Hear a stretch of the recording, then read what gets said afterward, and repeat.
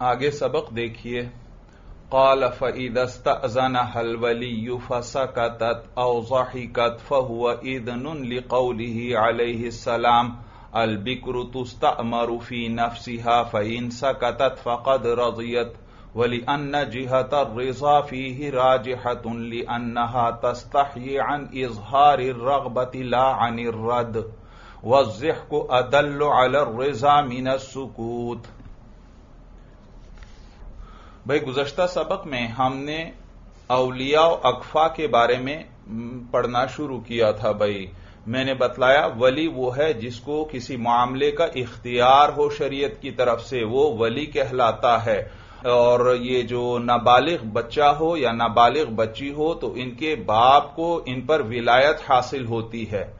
और इसी तरह और भी आगे तफसील आ जाएगी कि किन किन को इन सगीर और सगीरा पर विलायत हासिल होती है भाई। बाप है, दादा है, इसी तरह भाई है, चचा वगैरह। तो तरतीब है इनके दरमियान, वो भी आगे तफसील ज़िक्र हो जाएगी। तो इस बाब में अवलिया का भी बयान फरमा रहे हैं साहिब हिदाया और अकफा का भी। अकफा जमा है कुफ उन की। कुफ उन आखिर में हमजा है। कुफ का माना है, बराबर भाई, हम पल्ला, हम रुतबा। तो लोग जब बेटी का रिश्ता करते हैं तो अमूमन अपने बराबर वालों में करते हैं भाई। तो ये बराबरी भी शरीयत के अंदर मुतबर है, और इसमें किन किन चीज़ों को देखा जाएगा, उसका बयान भी साहिब हिदाया आगे फरमाएँगे। मसलन खानदान है, इसी तरह माल है, इसी तरह पेशा है। तो ये खानदान, माल और पेशा वगैरह, ये वो चीज़ें हैं जिन पर लोग फखर करते हैं। तो इंद अहनाफ आकिला बालिगा लड़की को अपना निकाह करने की इजाज़त है, लेकिन यह ज़रूरी है कि वो अपने बराबर वालों में निकाह करे। अगर वो अपने से कमतर लोगों में निकाह करेगी तो फिर यह निकाह होगा ही नहीं भाई। इसलिए क्योंकि ये उस खानदान के लिए, ज़िंदगी भर के लिए ताना बन जाएगा। तो साहिब हिदाया ने फिर आपको बतलाया कि शेखैन रहमल्ला के नज़दीक आकिला, बालेगा, आज़ाद लड़की जब अपना निकाह करती है तो वह मुनाकिद हो जाता है। जबकि इमाम यूसुफ रहमल्ला से एक रिवायत यह है कि वली के बगैर यह निकाह मुनाकिद ही नहीं होगा। वली करवाएगा तो होगा, वरना नहीं होगा। जबकि इमाम मोहम्मद रहमल्ला फरमाते हैं कि वली की इजाज़त पर यह निकाह मौकूफ रहेगा। अगर वली ने इजाज़त दे दी तो यह नाफिज हो जाएगा और अगर वली ने इजाज़त न दी तो नाफिज नहीं होगा। जबकि इमाम मालिक और इमाम शाफी रहीमल्ला फरमाते हैं कि औरत की इबारत से, औरत के अल्फाज से उसका निकाह मुनाकिद होता ही नहीं। औरत खुद जाकर ईजाब और कबूल करे तो इसका कोई एतबार ही नहीं है। वो फरमाते हैं, वजह यह कि निकाह जो है अजीम चीज़ है, निकाह के अंदर उसके बहुत से मकासद होते हैं। और अगर औरतों के हवाले ये मामला कर दिया जाए तो इसमें खलल आएगा, खराबी आएगी। ये कोई दो चार दिन की बात नहीं, ज़िंदगी भर का मामला है। लिहाजा इसकी इजाज़त औरत को नहीं होगी कि वो अपना निकाह खुद कर ले, या उसकी इबारत से निकाह मुनाकिद हो जाए।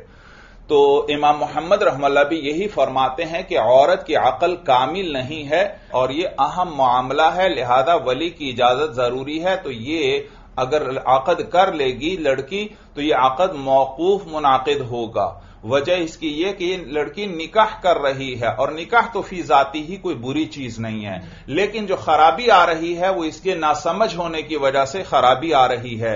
लेकिन जब वली की इजाज़त साथ मिल जाएगी तो वो खराबी भी दूर हो जाएगी, लिहाजा फिर निकाह मुनाकिद हो जाएगा। फिर शेखैन रहमल्ला की दलील ज़िक्र की साहिब हिदाया ने कि ये जो लड़की है, ये अखालिस अपने हक में तसरुफ कर रही है। किसी और के हक में दखल नहीं दे रही, बल्कि खालिस अपने हक में तसरुफ कर रही है। और नीज ये इस तसरुफ की अहल भी है, क्योंकि आकिला बालेगा और समझदार है। और इसी वजह से तो इसको माल में भी तसरुफ का हक होता है। याद रखो, आकिला बालेगा आज़ाद जो है, उसको अपने माल में तसरुफ का हक हासिल है, बिल इतफाक सबके नज़दीक।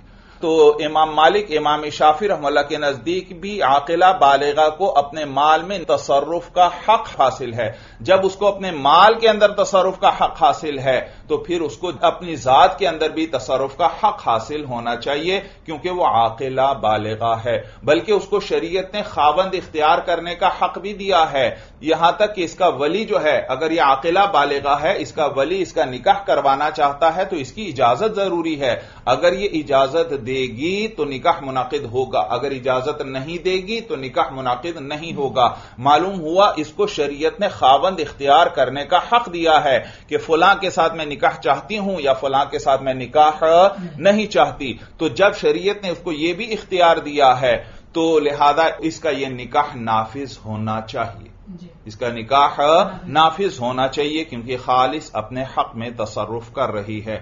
और बाकी जो मुतालबा वली से किया जाता है आप कहेंगे, भाई शरअन भी वली से मुतालबा करते हैं कि फलां शख्स आपकी बेटी से निकाह चाहता है। और इसी तरह उर्फ़ में आम लोगों की आदत भी यह है कि वली से जाकर निकाह वगैरह का मुतालबा किया जाता है, उसको पैगाम निकाह भेजा जाता है। तो ये अगर लड़की खुद मुख्तार है तो पैगाम निकाह तो उसको भेजना चाहिए। तो उसका जवाब दे रहे हैं कि, भाई शरअन और उर्फन जो है, ये मुतालबा वली से इसलिए किया जाता है ताकि कहीं लड़की की निस्बत वकाहत की तरफ़ ना की जाए, यानी बेशर्मी और बेहयाई की तरफ़, क्योंकि लड़कियों में बहुत ज़्यादा हया होती है भाई।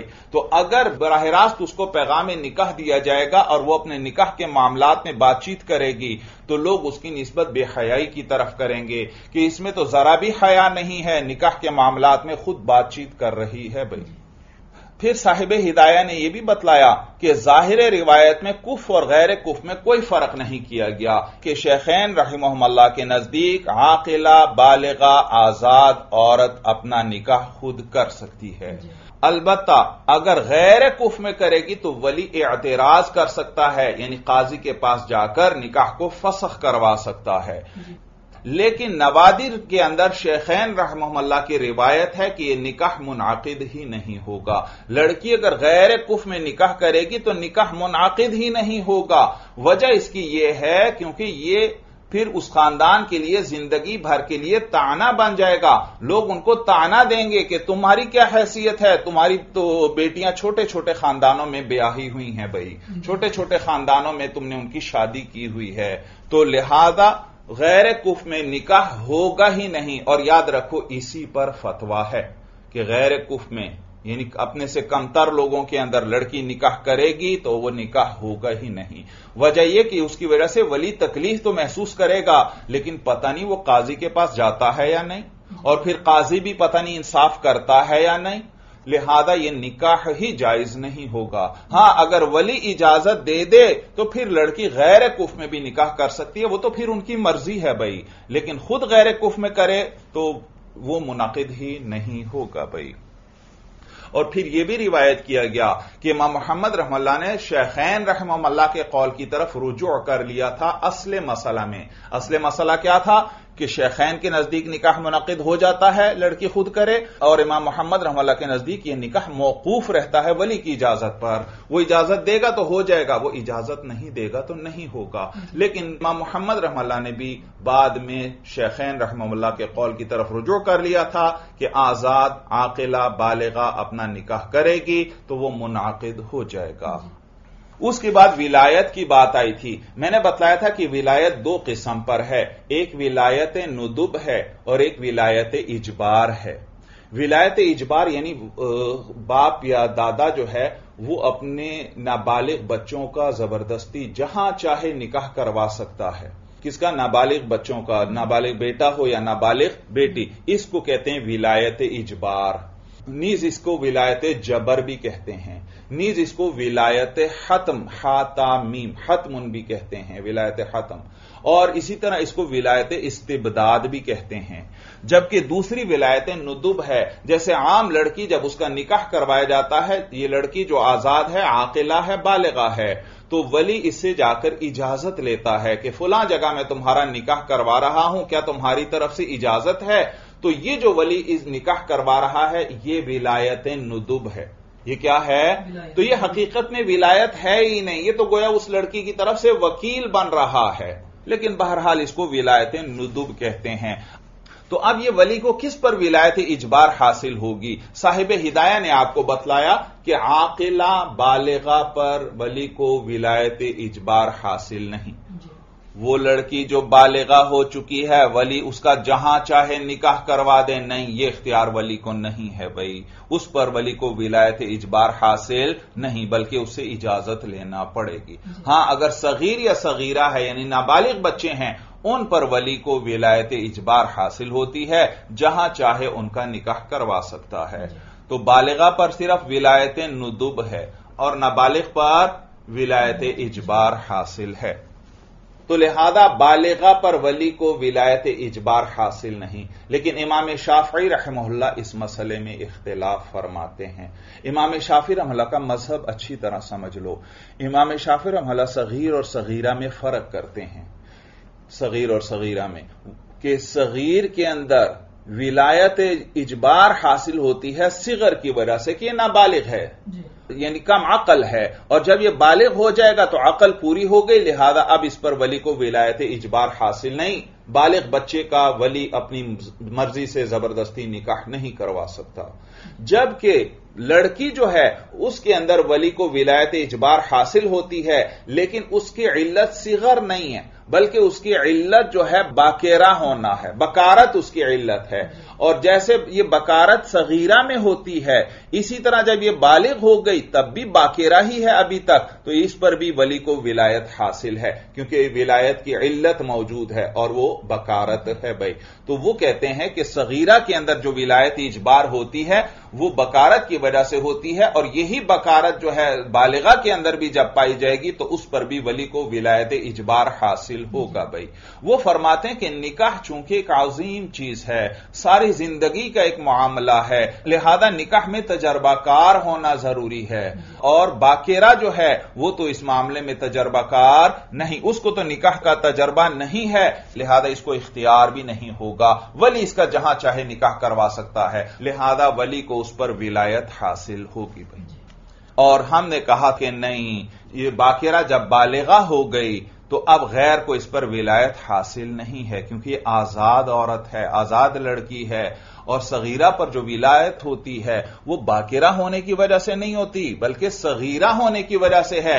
और जब ये बालेगा हो गई तो इसकी अकल कामिल हो गई, और उसकी दलील भी मौजूद है कि उसकी अकल कामिल हो गई है। जब भी तो शरीय काम उसकी तरफ़ मुतवजे हो जाते हैं, शरीय काम उस पर लाजिम हो जाते हैं, नमाज़, रोजा, जक़ात वगैरह उस पर लाजिम हो जाते हैं। ये इस बात की दलील है कि बालिग होने से उसकी अकल कामिल हो गई है, चुनाचे अब शरीयत उसको इन चीज़ों का हुक्म देती है। तो जब बालिग होने से इसकी अकल कामिल हो गई तो यह लड़के की तरह हुई। और लड़के के अंदर तो बिल इतफाक आप भी कहते हैं कि बालिग होने से उसकी अकल कामिल हो गई, लिहाजा उस पर विलायत इजबार हासिल नहीं। तो लिहाजा लड़की की भी जब अकल कामिल हो गई, हमने दलील से साबित कर दिया तो उस पर भी वली को विलायत इजबार हासिल नहीं होनी चाहिए। और नीज, ये विलायत फिल माल की तरह हो गई, जो विलायत फिल नफ्स है।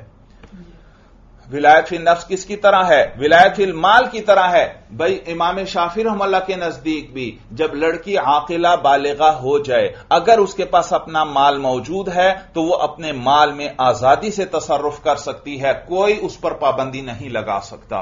तो जैसे तसरुफ माल का हक उसको आप देते हैं आकिला बालेगा होने की वजह से तो इसी तरह उसको तसरुफ नफ्स, अपनी जात के बारे में भी तसरुफ का हक मिलना चाहिए कि वह जहाँ मर्ज़ी चाहे निकाह कर ले, क्योंकि वह आकिला बालेगा हो चुकी है। तो जो तसरुफ इन नफ्स हुआ, ये भी किसकी तरह हो गया?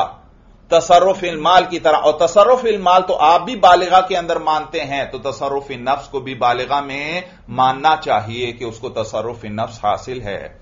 और इमाम शाफी रहमला ने अपने मज़हब की तायद के लिए ज़िक्र फरमाया था कि वली को बालिगा पर भी विलायत इजबार हासिल होती है। चुनाचे ए अहनाफ, आप भी इस बात के कायल हैं कि बालिगा बाकिरा का जब वली निकाह करवाता है तो बाप उसके महर पर कब्जा कर सकता है। बगैर उसकी इजाज़त के ही उसके महर पर कब्जा कर सकता है। तो जब बाप बगैर इजाज़त उसके महर पर कब्जा कर सकता है, मालूम हुआ बाप को उस पर विलायत इजबार हासिल है।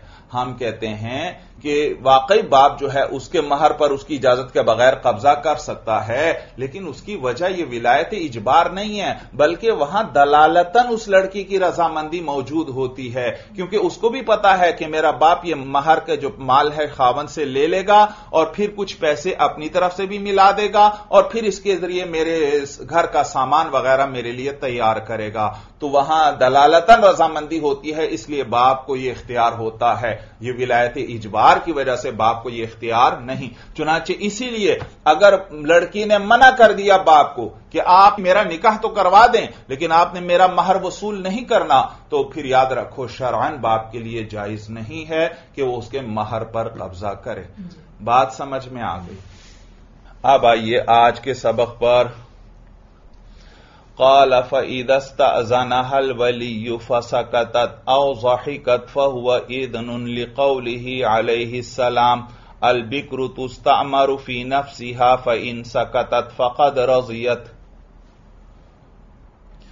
भाई साहिब हिदाया ने आपको बतला दिया कि आकिला बालिगा पर वली को विलायत इजबार हासिल नहीं वो ज़बरदस्ती उसका निकाह नहीं कर सकता। तो लिहाजा अगर इसका निकाह वली करवाना चाहता है तो इसे इजाज़त लेना पड़ेगी। तो अब उसका बयान आ गया। याद रखो इसको कहते हैं इस्तीमार।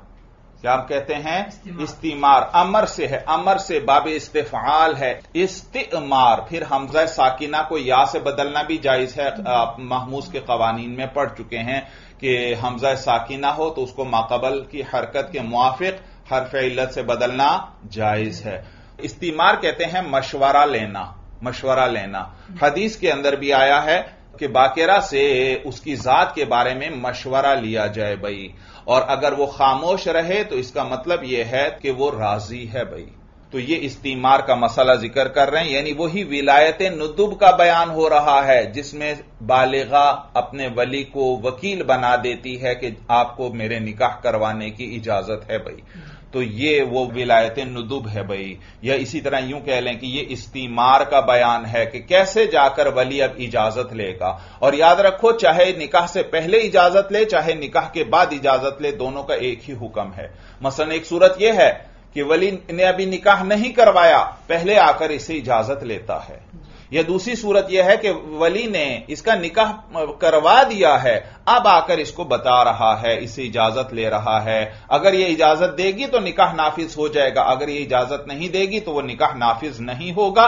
क्योंकि यह बालिगा है और वली को इस पर विलायत इजबार हासिल नहीं है। तो चाहे निकाह से पहले आकर बतलाए, चाहे निकाह के बाद आकर बतलाए, दोनों का एक ही हुक्म है। और नी साहिब हिदाया आपको यह भी बतलाएँगे कि सिर्फ़ निकाह की इतला देना काफ़ी नहीं है कि मैंने निकाह करवाया है, तुम्हारी तरफ़ से इजाज़त है? या मैं निकाह करवाने लगा हूँ, तुम्हारी तरफ़ से इजाज़त है? नहीं, बल्कि बाकायदा खावंद का बतलाना पड़ेगा कि फुला शख्स से मैं तुम्हारा निकाह करवा रहा हूँ। और ऐसे तरीके से खावंद का ज़िक्र ज़रूरी है कि लड़की को पहचान हो जाए भाई। यह ना हो कि वो ज़िक्र किया और उसको पहचान फिर भी ना हुई। नहीं, इसका कोई एतबार नहीं, बल्कि ऐसे तरीके से ज़िक्र करे कि लड़की को पहचान हो जाए। और नीज ये भी याद रखना कि महर का इसमें ज़िक्र ज़रूरी नहीं है। कि मैंने इतने महर में तुम्हारा निकाह किया है यह ज़िक्र ज़रूरी नहीं। लेकिन अगर वली ने महर मिसल से बहुत कम महर के अंदर इसका निकाह करवाया है तो फिर महर का ज़िक्र भी करना ज़रूरी है। मसलन इस जैसी लड़की का महर जो है वो दो लाख होता है और वली ने इसका निकाह जो है पचास हज़ार में करवा दिया है। यह तो इसने बहुत कम में इसका निकाह करवाया है। लिहाजा अब यह महर भी लड़की को बताना ज़रूरी है कि मैंने इतने महर में तुम्हारा निकाह करवाया है। क्या तुम्हें मंजूर है? तुम राज़ी हो इस पर?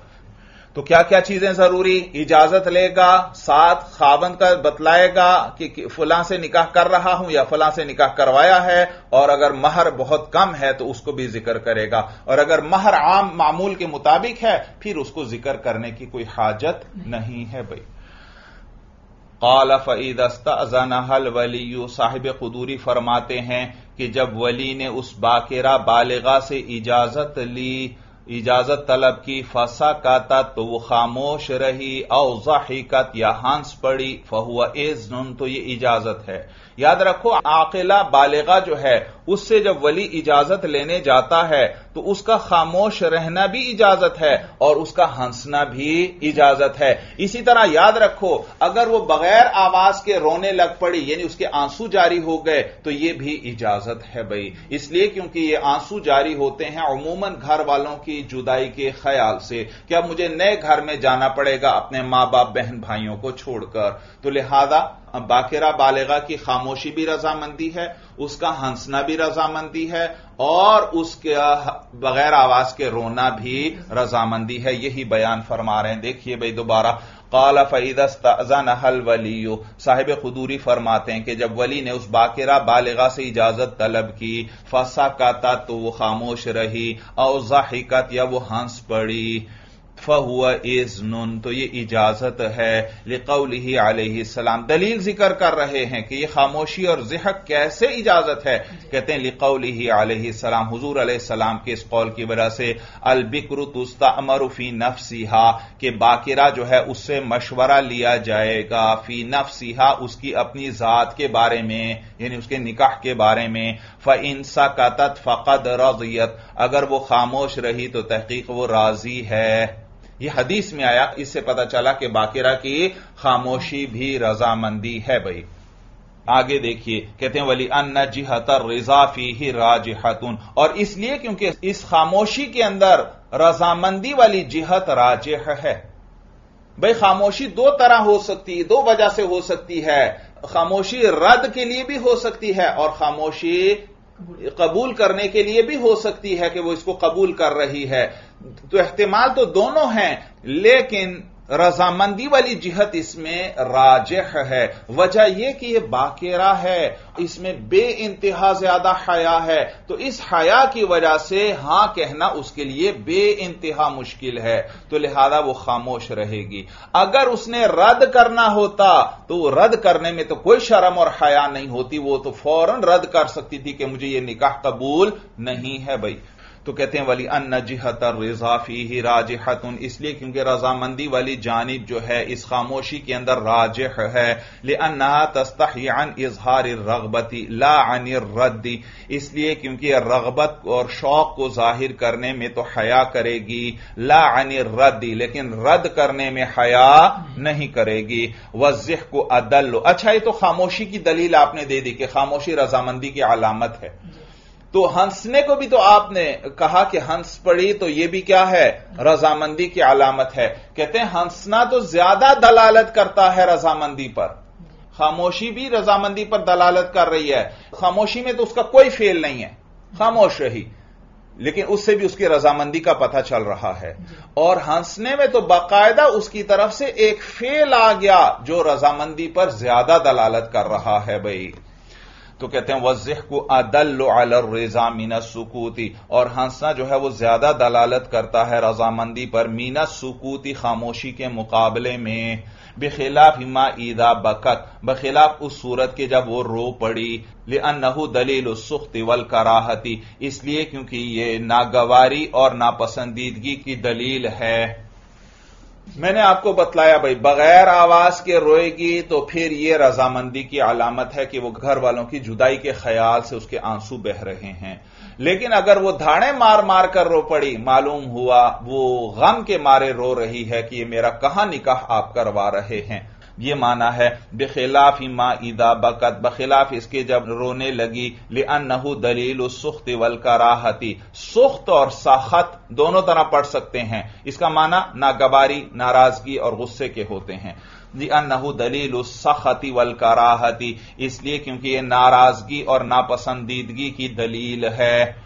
वकील ईदा वहिकत कल मुस्तहजी बिमा समियत ला यकून रिजन व ईदा बकत बिला सौतिन लम यकुन रद्दन। जी बास फुकहा ने और तफसील बयान फरमाई है। वो फरमाते हैं अगर हंसना इस्तेजा के तरीके पर हो। किस तरीके पर?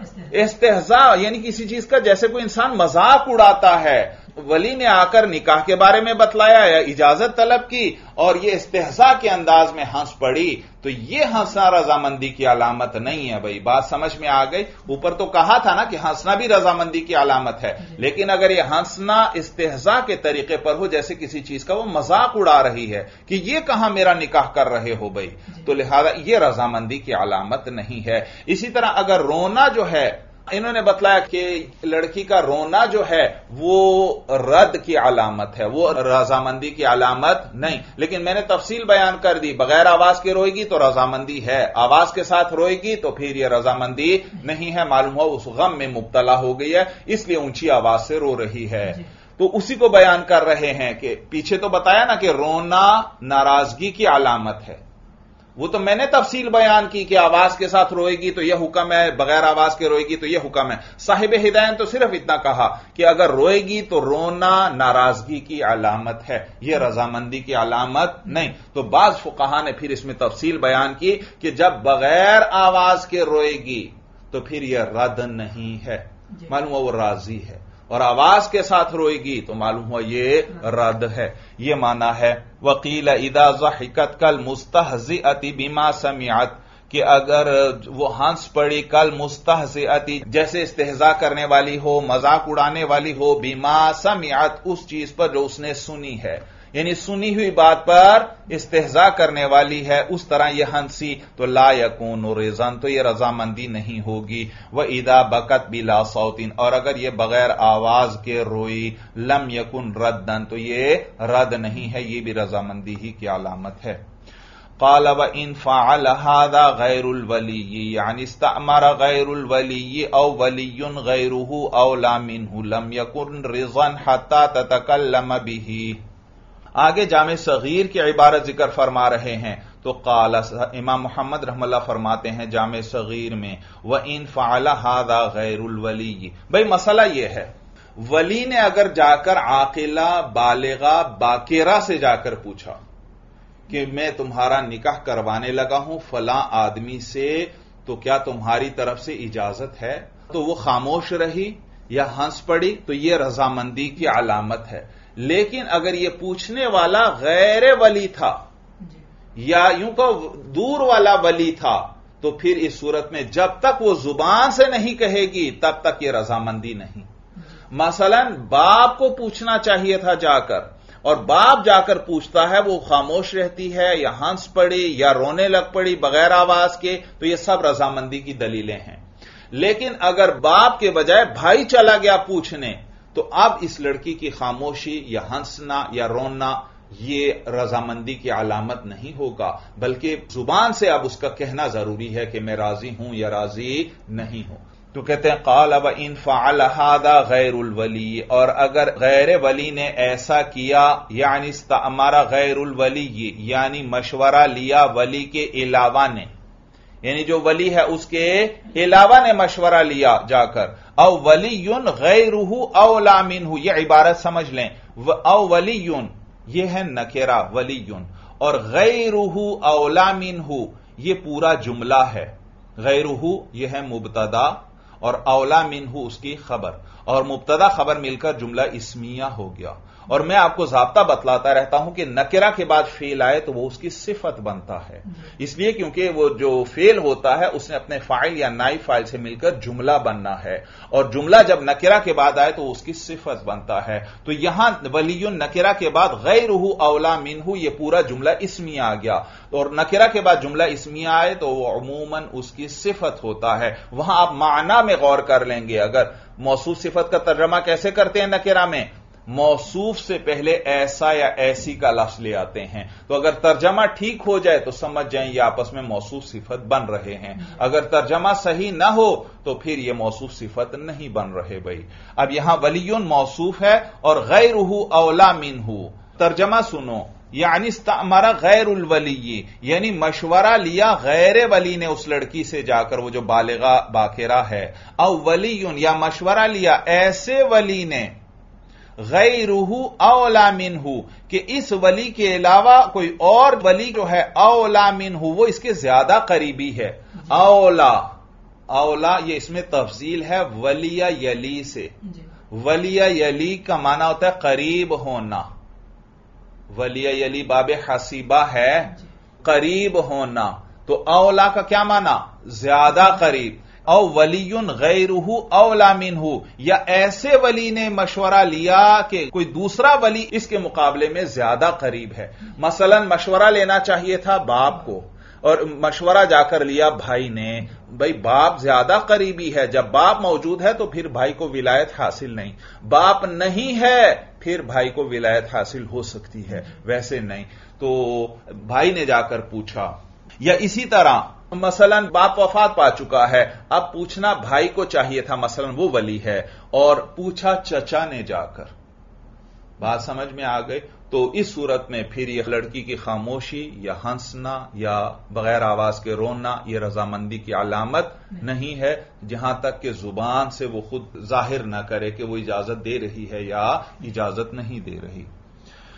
फिर देखिए, तर्जमा काल अब इन फ़ाला हादा गैर वली और अगर गैर वली ने यह किया, भाई, क्या किया? आगे साहिब हिदाया माना बयान फरमा रहे हैं, यानी हमारा गैर वली यानी गैर वली ने मशवरा लिया उस बाकिरा बालिगा से और वली गैर हु अवला मिन हु या मशवरा लिया ऐसे वली ने कि उस वली के अलावा कोई और वली जो है वो इस बाकिरा बालिगा के ज़्यादा करीब है। लम यकुन रिजन तो अब ये खामोशी वगैरह रजामंदी नहीं होगी। हत्ता तकल्लम अभी यहाँ तक कि वो बाकेरा बालेगा उस पर इजाज़त पर बाकायदा तकल्लुम कर दे, रजामंदी पर तकल्लुम कर दे। लिअन हादा सुकूत इल्तिफाती इला कलामी ही भाई क्यों? ये क्या वजह है? आपने, बाप के सामने खामोशी को आपने रजामंदी करार दिया। और भाई जो दूर का वली है, उसके सामने आपने खामोशी को रजामंदी की दलील करार नहीं दिया। कहते हैं, वजह यह कि दूर के वली के सामने यह इसलिए खामोश नहीं रही कि यह राज़ी है, बल्कि इसने उसकी बात की तरफ़ तवज्जो ही नहीं की। मसलन देखो, पूछना किसको चाहिए था? बाप को। आया पूछने कौन? भाई। तो भाई ने पूछा कि तुम्हारा फुला जगह निकाह करवा रहे हैं, क्या तुम राज़ी हो? यह खामोश रही, इसने जवाब ही नहीं दिया। यानी उसकी तरफ़ तवज्जो ही नहीं की कि भाई ये कौन है मेरे निकाह के मामले में दखल देने वाला? मेरा बाप मौजूद है तो बाप को आकर मेरे साथ बात करनी चाहिए। ये कौन है मेरे निकाह के मामले में दखल देने वाला? इसका क्या ताल्लुक है मेरे निकाह से? या जैसे भाई को पूछना चाहिए था बाप तो वफात पा चुका लेकिन पूछने चचा आया तो उसने तवज्जो ही नहीं की कि भाई ये मेरे निकाह में कैसे दखल दे रहे इनका मेरे निकाह से क्या ताल्लुक है? मेरा तो वली मेरा भाई है उसको आकर मुझसे ये पूछना चाहिए था। बात समझ में आ गई? तो लिहाजा वली के अलावा किसी के सामने खामोशी। या दूर वाले वली के सामने खामोशी। यह रजामंदी की अलामत नहीं है, बल्कि यह खामोशी इसलिए है कि वो लड़की जो है, उसकी बात की तरफ़ तवज्जो ही नहीं कर रही। कि इसका मेरे निकाह से क्या ताल्लुक है भाई? यह माना है अन हादा सुकूत लिल्तिफाती इला कलाम ही इसलिए क्योंकि ये जो खामोशी है, उसके कलाम की तरफ़ कम तवज्जो करने की वजह से है कि वो उसके कलाम की तरफ़ तवज्जो ही नहीं कर रही कि मेरी शादी से इसका क्या ताल्लुक है। फलम यका दलालतन अलरजाई लिहाजा यह रजामंदी पर दलालत नहीं होगी। यह खामोशी, ये खामोशी फिर रजामंदी पर दलालत नहीं है। वला वका, और अगर ये खामोशी, अगर ये दलालत हो भी फहुआ मुहतमिल तो इसमें इहतमाल है। भाई, पीछे भी बात गुजर चुकी। खामोशी सिर्फ़ रजामंदी की दलील नहीं होती। उसमें तो रद्द का भी एहतमाल होता है। लेकिन वहाँ पर रजामंदी को तरजीह दे दी हमने, क्योंकि हदीस में भी आया था। और नींद इसलिए क्योंकि बाकिरा बालिगा के अंदर बे इंतहा ज़्यादा हया होती है, जिसका आप लोग तस्वुर भी नहीं कर सकते। तो इस हया की वजह से वो अपनी रगबत का इजहार नहीं कर सकती कि हाँ, मैं राज़ी हूँ इस निकाह पर। तो कहते हैं वलव वका अगर वो सुकूत जो है, अगर वो रजामंदी पर दलालत वाक़ हो भी जाए फ हुआ मुहतमिल तो भी उसमें एहतमाल है यानी रद्द का भी तो एहतमाल है। वल इक्तफा उबी मिसल ही लिल हाजती और इक्तफा करना इस जैसे एहतमाल वाली चीज़ पर लिल हाजती हाजत की वजह से है। फिर सुनो फिर सुनो। भाई कहना यह चाहते हैं कि वहाँ पर वली के सामने जब लड़की खामोश रही तो इसको हमने दलील बनाया रजामंदी पर। अगरचे इसमें रद का भी इहतेमाल था लेकिन हमने रजामंदी की दलील बनाया। वजह यह कि वो मोहताज है निकाह के लिए। वो निकाह के मोहताज है कि उसका निकाह होगा तो निकाह की मसलहतें उसको हासिल होंगी उसका घर बस जाएगा औलाद हासिल होगी खानदान बन जाएगा ये मसलहतें उसको निकाह के ज़रिए हासिल होंगी। और वो हया की वजह से हाँ कर ही नहीं सकती इतनी ज़्यादा हया है। तो अगर उसके हाँ कहने पर मसले का मदार कर दिया जाए फिर तो वो बेचारी अरसे तक ऐसे ही बैठी रहेगी भाई। वो हया की वजह से बोलती नहीं और घर वाले समझ रहे हैं शायद ये रद्द कर रही है भाई।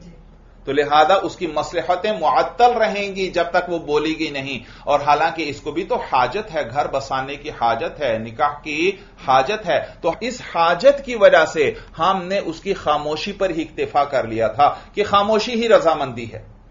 लेकिन जब गैर वली आकर पूछता है, अब इस खामोशी पर इक्तफा काफ़ी नहीं। गैर वली के सामने उसके लिए बोलना मुश्किल नहीं है भाई। फिर तर्जमा देखिए कहते हैं लिअन्नहाद सुकूत लिल्तिफाती इला कलाम ही इसलिए क्योंकि ये खामोशी जो है गैर वली के सामने, ये उस गैर वली के कलाम की तरफ़ कम तवज्जो होने की वजह से है, कम तवज्जो करने की वजह से है।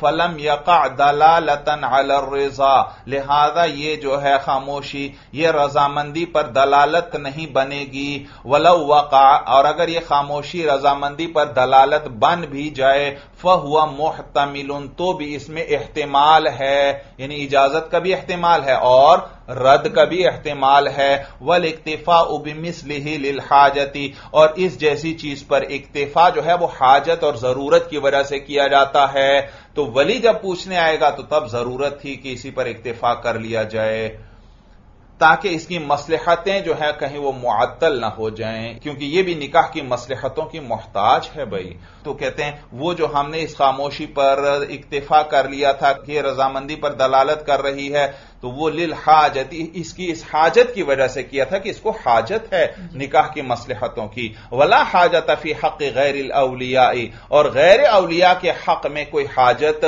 नहीं है कि इस खामोशी को रजामंदी की दलील समझा जाए। बिखिलाफ मा इदाकान अल मुस्तामिर रसूल अल वली काइम मकामहू। कहते हैं हाँ अगर इसके बजाय वो जो पूछने आया है वो वली का पैगाम रसा है। कोई भी आया पूछने मसलन वली है बाप लेकिन भाई पूछने आया भाई पूछने आया। तो आपको इन्होंने बता दिया कि भाई के सामने खामोशी दलील नहीं, इसको ज़ुबान से इजाज़त देना पड़ेगी। लेकिन अगर इस भाई को बाप ने भेजा है, बाप का पैगाम पैगाम लेकर आया है, आकर कहता है कि मुझे वालिद साहब ने भेजा है, फुला जगह आपका निकाह करवा रहे हैं, क्या आपकी तरफ़ से इजाज़त है? अब लड़की की खामोशी हंसना और बगैर आवाज़ के रोना, अब ये दलील बन जाएँगी। क्योंकि ये वली का पैगाम रसा है तो इसका वही हुक्म है जो वली का हुक्म था, और वली के सामने तो खामोशी रजामंदी की दलील थी तो इसके सामने भी खामोशी रजामंदी की दलील है। बात समझ में आ गई? वो खुद आकर कहता है कि मुझे वली ने भेजा है, आपसे निकाह की बात पूछने के लिए तो अब खामोशी रजामंदी की अलामत है। यह माना है, बेखिलाफ मा इदा कान अल मुस्तामिर रसूल अल वली बखिलाफ इसके कि वो मशवरा लेने वाला अगर वो वली का पैगाम रसा है तो फिर उसमें वो खामोशी दलील होगी। लिअन्नहु मकाम हो इसलिए क्योंकि ये जो रसूल है, ये जो पैगाम रसा है, ये भी उस वली का कायम मकाम है भाई। आगे देखिए वह तोता बरुफिल इस्तीमारी तस्मियत जौज अला वजहिन तकाउ बिहिल मारिफा। भाई, मैंने आपको बतलाया था कि जब उससे इजाज़त लेने गए हैं तो खामन का ज़िक्र करना भी ज़रूरी है, उसकी पहचान वही अब मसला आ गया। तो कहते हैं, वह तोतबर फिल इस्तीमारी तस्मियत जौजी और मोतबर है इस्तीमार के अंदर खावंद का ज़िक्र करना। ये जो इस्तीमार है जो मशवरा लिया जा रहा है या यूँ को ये जो इजाज़त तलब की जा रही है, ये इजाज़त के तलब करने के अंदर मोतबर है तस्मियत जौजी, खावंद का ज़िक्र करना। अला वजहिन, ऐसे तरीके पर तकाउबिहिल मारिफतु, कि जिसके ज़रिए पहचान हो जाए। खावन का ज़िक्र वैसे सरसरी नहीं करना। ऐसे तरीके से करना है कि लड़की को पूरी पहचान हो जाए कि फुला शख्स से मेरा निकाह करवाया जा रहा है। लितजहरा रगबतुहा फ़ी ही मिन रगबतिहा अनहू। रगीबा यरगबू रगबतन। इसका सिला अगर फ़ी आए तो इसका माना है रागिब होना, शौक होना, इश्तियाक होना। और इसी रगीबा का सिला अगर अन आ जाए तो फिर इसका माना है एराज करना नफरत करना। तो साहिब हिदाया की फसीह बलिग इबारतें चल रही हैं भाई। एक जगह रगबतुहा का सिला फ़ी लेकर आए और दूसरी जगह रगबतुहा का सिला अनहु लेकर आए भाई। तो एक जगह इसका तर्जमा क्या करेंगे? शौक के रगबत के और दूसरी जगह तर्जमा करेंगे नफरत के या एराज के। और याद रखो, ये जो दरमियान में मिन आया, लितजहारा रगबतुहा फ़ी ही मिन रगबतिहा अनहू। ये मिन जो है, अरबी ज़ुबान में कभी कभार दो चीज़ों के दरमियान मुकाबले के लिए लाया जाता है। यह हमेशा याद रखना यह आपको तर्जमे में बहुत फ़ायदा देगा। मसलन फजहर अल हक मिनल बातिली। फजहर हक तो हक ज़ाहिर हो गया मीनल बातिली, बातिल के मुकाबले में। तो ये मीन का क्या तर्जमा मैंने किया? मुकाबले में। तो ये मिन मुकाबले के लिए आता है। तो कहते हैं, लितजहरा रगबतुहा फ़ी ही ताकि उस बालिगा बाकिरा की रगबत ज़ाहिर हो जाए। फ़ी ही उस खावंद में, मिन रगबतिहा अनहु।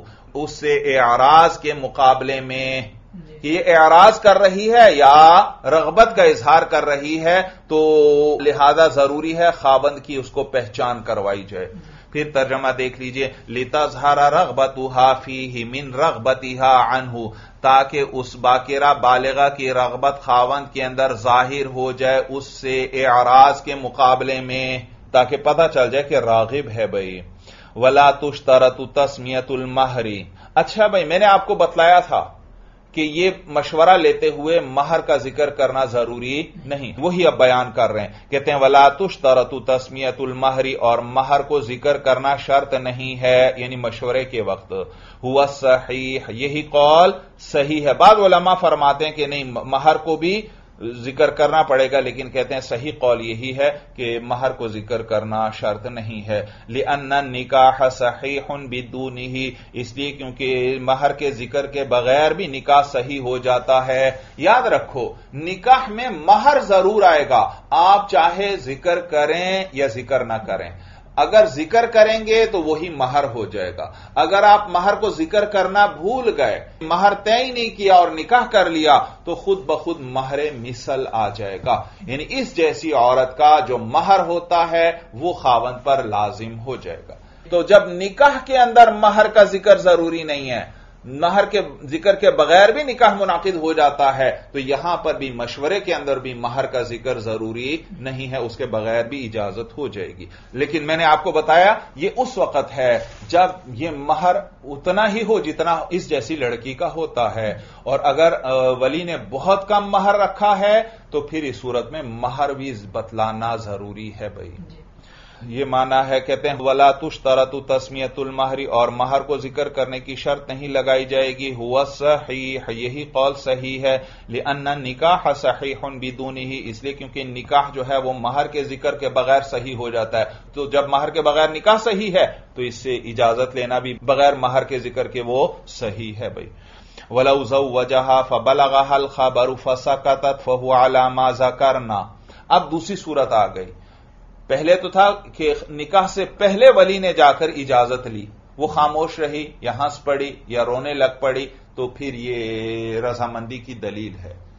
और मैंने आपको बतलाया, अगर निकाह के बाद जाकर बतलाया कि मैंने तुम्हारा निकाह कर दिया है तो फिर वो बाकेरा, बालिगा, खामोश रही या हंस पड़ी, या बगैर आवाज़ के रो दी। तो ये सब, ये भी क्या है? रजामंदी की अलामत है भाई। अब वही बयान कर रहे हैं।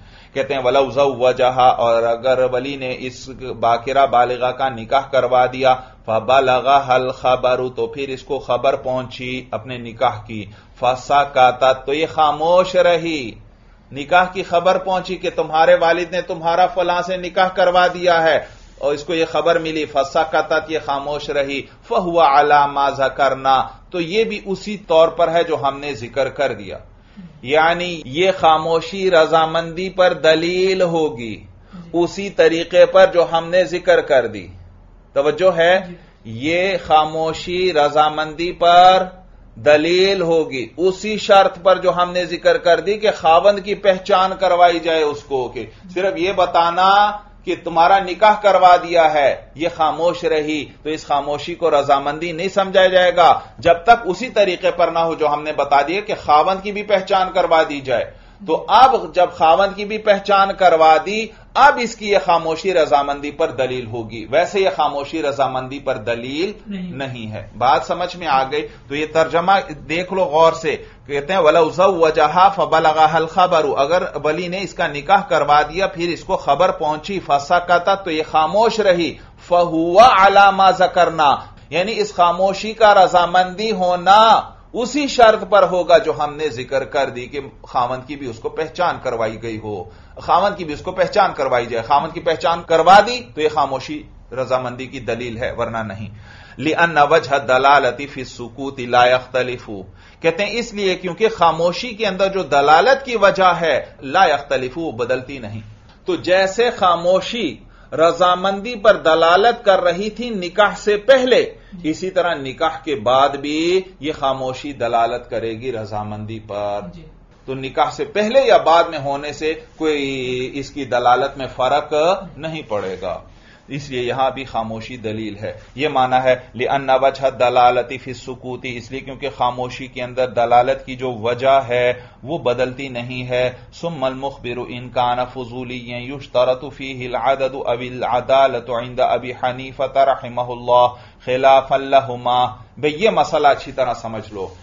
अगर खबर देने वाला मसला निकाह करवा दिया है वली ने। अब इस लड़की को आकर किसने खबर दी? और खबर देने वाले ने खावंद का भी पूरा बतला दिया। तो और फिर यह खामोश रही तो यह खामोशी रजामंदी की दलील होगी। या यह हंसना रजामंदी की दलील होगी। या बगैर आवाज़ के रोना ये रजामंदी की दलील होगी। लेकिन ये याद रखो पहले यह देखा जाएगा यह खबर देने वाला कौन है? ये खबर देने वाला या तो कोई फजूली होगा। फजूली फजल से है जायद जायद। याद रखो, फिकी मसाइल के अंदर यह जगह जगह फजूली का ज़िक्र आएगा। फजूली का तर्जमा याद रखना। फजूली कहते हैं गैर मुतल आदमी। एक शख्स जिसका एक मसले से ताल्लुक नहीं है, वो उस मसले में दखल दे तो हम कहेंगे ये फजूली है। मसलन, मेरी गाड़ी है। मुझे इख्तियार है, मैं अपनी गाड़ी को जब चाहूँ बेच दूँ। क्योंकि मैं इस गाड़ी का मालिक हूँ। तो मैं इस गाड़ी की बै कर सकता हूँ क्योंकि मैं असील हूँ। इस बै का इख्तियार मुझे ही है। गाड़ी का मालिक मैं हूँ। तो ये गाड़ी की बै मैं कर सकता हूँ क्योंकि मैं असील हूँ इस मामले के अंदर। मुझे किसी और ने यह इख्तियार नहीं दिया, बल्कि मैं खुद मालिक हूँ इसका। और एक सूरत यह है कि मैं किसी दूसरे से कहता हूँ कि आप मेरी ये गाड़ी ले जाएँ और बेच दें तो गोया मैंने उसको वकील बना दिया। तो किसी भी मामले में जब कोई तसरुफ करता है, या वो असील होता है या वकील होता है, और अगर कोई तीसरा शख्स आकर बीच में वो मामला करे तो उसको फिर फजूली कहते हैं। मसलन, मैं अपनी गाड़ी खुद भी बेच सकता हूँ। मैं अपनी गाड़ी जैद को वकील बना दे, बना सकता हूँ कि आप जाकर मेरी गाड़ी बेच दें। लेकिन मैंने किसी को वकील भी नहीं बनाया खुद भी नहीं बेची। एक आदमी अचानक आया जानने वाला और आकर कहने लगा आज मैंने आपकी गाड़ी बेच दी। भाई आपने मेरी गाड़ी कैसे बेच दी? तो इसको कहेंगे फजूली। क्या कहेंगे? इसका कोई ताल्लुक नहीं था गाड़ी बेचने से। लेकिन आइंदल अहनाफ इसकी बै बिल्कुल रद्दी भी नहीं है। बै मौकूफ रहेगी। इसने मेरी गाड़ी बेची है। अब अगर मैंने इजाज़त दे दी तो वो बै नाफिज हो जाएगी। और अगर मैंने इजाज़त न दी तो वो बै रद्द हो जाएगी। बात समझ में आ गई? तो गैर मुतल आदमी को क्या कहते हैं? फजूली जो ना असील हो और ना वकील हो। तो अब देखो इस लड़की को जिसने पैगाम पहुँचाया वो फजूली था। मसलन उसको वली ने नहीं भेजा कि जाकर उसको बतलाओ। वो खुद ही आ गया। तो कहते हैं अगर फजूली है तो फिर इसके अंदर आदद या अदालत में से एक शर्त होगी। आदद या अदालत। वजह यह कि ये जो इस आदमी ने आकर इस लड़की को बताया है, इसमें दो हैसियतें हैं। एक हैसियत से तो यह गोया उसको सिर्फ़ एक बात बतला रहा है, और बात तो कोई भी जाकर किसी को बतला सकता है। और दूसरी हैसियत से देखें तो उस पर यह लड़की पर यह निकाह लाजिम हो रहा है। लड़की पर यह निकाह लाजिम। हो रहा है। इस वक्त वो खामोश रहेगी बाद में वो रद्द वगैरह नहीं कर सकती। तो ये जो फजूली ने आकर खबर दी है बाज एतबार से देखें तो ये सिर्फ़ खबर दे रहा है एक बात बतला रहा है। और बाज एतबार से देखें तो गोया ये शहादत दे रहा है। शहादत में भी गैर पर एक बात लाजिम की जाती है। बस अलम देखो दो आदमियों का झगड़ा हो गया एक चीज़ के बारे में। दो गवाहों ने आकर कहा कि हम गवाही देते हैं जैद इसका मालिक है। तो लिहाजा गवाही की वजह से क्या होती है? एक चीज़ दूसरे पर लाजिम हो जाती है। भाई अमर तो कह रहा था यह चीज़ मेरी है। लेकिन अब जब दो गवाहों ने गवाही दे दी काजी ने जैद के हक में फैसला कर दिया और यह फैसला अमर पर भी लाजिम हो गया। क्या हुआ? यानी गवाहों ने क्या कहा था? यह गाड़ी किसकी है? जैद की। तो देखा गवाहों का कौल अमर पर लाजिम कर दिया काजी ने। तो शहादत में गैर पर कोई चीज़ कोई कौल लाजिम किया जाता है। तो यहाँ पर भी ये जो खबर देने वाला है ये मीन वजह तो खबर दे रहा है और मीन वजह यह शहादत है कि यह खावंद इस औरत पर क्या हो जाएगा? लाजिम हो जाएगा ये निकाह इस पर लाजिम हो जाएगा। तो ये बाज एतबार से खबर है और बाज एतबार से शहादत है। और काजी के सामने जब किसी मसले में गवाही दी जाए तो दो चीज़ों का होना ज़रूरी है। गवाह दो होने चाहिए और नीज वो आदिल होने चाहिए काबिल एतमाद। आप जानते हैं काजी के सामने जब कोई दो आदिल गवाह किसी मसले में पेश हो जाएँ तो काजी को वही फैसला करना पड़ता है। अगर वो वही फैसला न करे तो वो इंदल्लाह मुजरिम है, वो काजी भाई। तो गवाहों के अंदर अदद भी ज़रूरी, गवाह कम अज कम दो गवाह हो। एक गवाह से बात साबित नहीं होगी। और नीज, वो गवाह भी कैसे होने चाहिए? आदिल। अगर गैर आदिल है, फिर काजी की मर्ज़ी है। वो गवाही को कबूल करे या कबूल न करे। तो गवाही के अंदर कितनी चीज़ें हैं? दो। एक आदद, यानी दो होने चाहिए। और एक अदालत के गवाह क्या होना चाहिए? आदिल होना चाहिए, यानी काबिल एतमाद होना चाहिए। तो लिहाजा ये जो लड़की को जाकर निकाह की खबर दी है, ये बाज एतबार से देखें तो खबर है। जब खबर है तो खबर के अंदर तो ना अदालत की शर्त होती है और ना आदत की शर्त होती है। जो भी एक बात आकर आपको बतलाएगा, आपको बात पता चल गई। दो का बतलाना या काबिल एतमाद का बतलाना ज़रूरी नहीं। लेकिन यही मीन वजह ये जो लड़की को बतलाया जा रहा है ये मीन वजह इसकी वजह से उस पर यह निकाह लाजिम हो जाएगा। तो यह शहादत हो गई। क्या हो गई?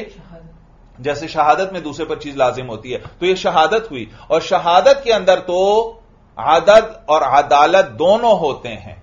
लेकिन ये जो है पूरी शहादत नहीं है। बाज एतबार से ये शहादत है बाज एतबार से ये शहादत नहीं है। तो लिहाजा शहादत की दोनों चीज़ें तो ज़रूरी नहीं होंगी। हाँ एक चीज़ ज़रूरी होगी। बाज एतबार से यह शहादत है बाज एतबार से यह शहादत नहीं। तो लिहाजा इसमें या तो ये जो फजूली हैं ये दो होने चाहिए। या अगर दो नहीं है एक है तो कम अज कम उसको काबिल एतमाद होना चाहिए। क्योंकि मीन वजह शहादत है मीन वजह शहादत नहीं। जब मीन वजह शहादत है तो शहादत की दो शर्तों में से एक ज़रूर होनी चाहिए। और जब मीन वजह शहादत नहीं है तो शहादत की दूसरी चीज़ ज़रूरी नहीं। एक चीज़ होनी चाहिए एक नहीं। चाहे आदत हो जाए बताने वाले अगर काबिल एतमाद नहीं है तो दो बताने वाले हों। और अगर काबिल एतमाद है तो फिर एक भी काफ़ी है। बताने वाले दो थे या एक काबिल एतम था वो जो फजूली है वो जो फजूली है। और फिर ये लड़की खामोश रही। तो अब ये निकाह इस पर क्या हो गया? लाजिम। और अगर आदत या अदालत नहीं है एक ही फजूली है और वो भी आदिल नहीं है तो फिर इस सूरत में सिर्फ़ इसकी खामोशी से यह निकाह इस पर लाजिम नहीं होगा बल्कि ज़ुबान से बाकायदा इजाज़त देना ज़रूरी है। बात समझ में आ गई।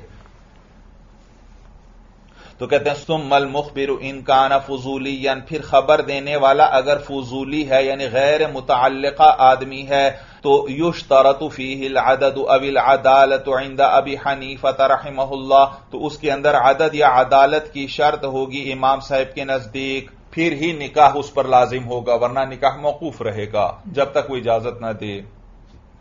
खिलाफ अल्लाहुमा बखिलाफ साहिबैन के। साहिबैन फरमाते हैं कि ये खबर है, ये शहादत नहीं। लिहाजा इसमें ना आदत की शर्त है, ना अदालत की।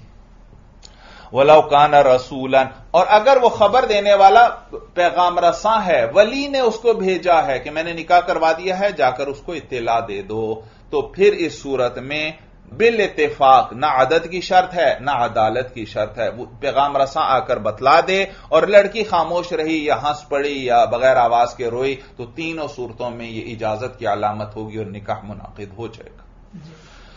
तो कहते हैं वलाउकान रसूलन और अगर वो खबर देने वाला, अगर पैगाम रसा है तो ला युश तरत इजमान तो फिर इसके अंदर आदत या अदालत की शर्त नहीं होगी इजमान इतफाकन यानी बिल इतफाक भाई।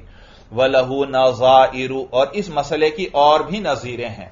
यानी यहाँ पर यह जो खबर इसने दी, ये जो खबर दी जा रही है, ये मिन वजह शहादत है और मिन वजह गैर शहादत है। तो लिहाजा शहादत की दो चीज़ों में से एक ज़रूर होनी चाहिए। या आदत होना चाहिए, यानी खबर देने वाले दो हों, या अदालत होनी चाहिए अगर खबर देने वाला एक है कि वह आदिल और काबिल एतमाद आदमी होना चाहिए। कहते हैं इसकी और भी नजीरें हैं जो कहते हैं आगे किताबुल कजा में साहिब हिदायत ज़िक्र फरमाते हैं। मसलन देखो मसलन देखो एक शख्स एक वकील को माजूल कर देता है। तो याद रखो इस ये भी मीन वजह खबर है और ये मीन वजह शहादत है। तो इसमें भी आदत या अदालत में से एक चीज़ होनी चाहिए इमाम साहिब के नज़दीक। भाई देखो ना मसन एक आदमी को मैंने कहा कि आप मेरे लिए एक गाड़ी खरीद लें। वो चला गया। फिर बाद में मेरा इरादा बदल गया कि अब मैं गाड़ी नहीं खरीदता। मैंने एक दूसरे आदमी को उसके पीछे दौड़ाया कि जाओ जाकर जल्दी से उसको कहो मेरे लिए गाड़ी न खरीदे। ये अब मैं उसको वकालत से माजूल कर रहा हूँ कि मेरे लिए आप गाड़ी न खरीदें भाई। तो ये माजूल तो लिहाजा देखा जाए तो मिन वजह ये खबर है। वो सिर्फ़ जाकर बताएगा ये खबर दे रहा है। और देखा जाए तो ये मीन वजह शहादत है। भाई शहादत कैसे है? कहते हैं क्योंकि इसकी वजह से एक चीज़ दूसरे पर लाजिम हो जाएगी। किस तरह? भाई देखो मसलन एक आदमी को मैंने वकील बनाया मेरे लिए गाड़ी खरीदो। वो गाड़ी जब खरीद लेगा वो गाड़ी मुझ पर लाजिम होगी मुझे लेना पड़ेगी। और अगर मैंने वकील नहीं बनाया किसी को और एक आदमी खुद ही गाड़ी खरीद कर ले आया और अब वो ज़बरदस्ती मुझे कहता है नहीं जी ये तो मैंने आपके लिए खरीदी थी आपको लेना पड़ेगी। तो मेरे लिए तो लेना ज़रूरी नहीं है। तो देखो वो गाड़ी उसी आदमी पर पड़ गई। वो क्या हो गई? उसी आदमी पर पड़ गई। अब उसको खुद ही रखना पड़ेगी। जो पैसे लगे वो उसके अपने लगे हैं। क्योंकि मैंने तो उसको वकील ही नहीं बनाया। यहाँ पर भी इसी तरह। एक आदमी को मैंने वकील बनाया है कि मेरे लिए गाड़ी खरीद लो। तो अब वो जब गाड़ी खरीदेगा, वो मुझे लेना पड़ेगी हर हाल में, क्योंकि मैंने वकील बनाया है। लेकिन अगर मैं उसको वकालत से माजूल कर देता हूँ और खबर मिलने के बाद फिर ये गाड़ी खरीदता है तो अब ये गाड़ी उसी पर लाजिम होगी, मुझ पर लाजिम नहीं। वो पैसे उस वकील ही को पड़ेंगे। वो मेरे सर पर अब वो गाड़ी नहीं डाल सकता। बात समझ में आई? तो देखो, जब मैंने वकील को माजूल किया तो माजूल करने की जो खबर पहुँचा रहा है, ये मिन वजह खबर ही है। लेकिन मीन वजह यह शहादत भी है कि अब अगर वकील ने वो तसरुफ किया तो वकील पर लाजिम होगा मौकिल पर लाजिम नहीं, नहीं होगा। तो यह मीन वजह शहादत भी है। तो लिहाजा वकील को माजूल करना यह मीन वजह खबर है और मीन वजह शहादत है। तो इसके अंदर भी आदत या अदालत में से एक चीज़ का होना ज़रूरी है। यह माजूली की खबर देने वाले या तो दो अफराद होने चाहिए, या अगर एक है तो वह काबिल एतमाद यानी आदिल आदमी होना चाहिए। यह माना है वह लहू नजाइरू और इस मसले की और भी नजीरें हैं। आगे देखिए वलविस्ताजाना सईबा फला बुद्दा मिन रिजा हाबिल कौली भाई पहले था बाकेरा बालेगा से इजाज़त का मसला अब है सैयबा से इजाज़त का मसला सैयबा वो है जिसका पहले निकाह हो चुका और रुखसती हो गई थी और फिर खामन ने इसको तलाक दे दी तो ये जो गैर कंवारी है शादीशुदा है यह है सैयबा अब इस सैयबा का कहीं वली निकाह करवाता है और फिर आकर इसको इत्तला देता है। या निकाह करवाने से पहले इसे इजाज़त तलब करता है कि फला आदमी से मैं आपका निकाह करवा रहा हूँ। तो याद रखो, बाकेरा की खामोशी तो रजामंदी की दलील थी। सैयबा की खामोशी रजामंदी की दलील नहीं है, बल्कि इसको बाकायदा ज़ुबान से कबूल करना पड़ेगा, फिर ही इजाज़त होगी। वैसे इजाज़त नहीं होगी।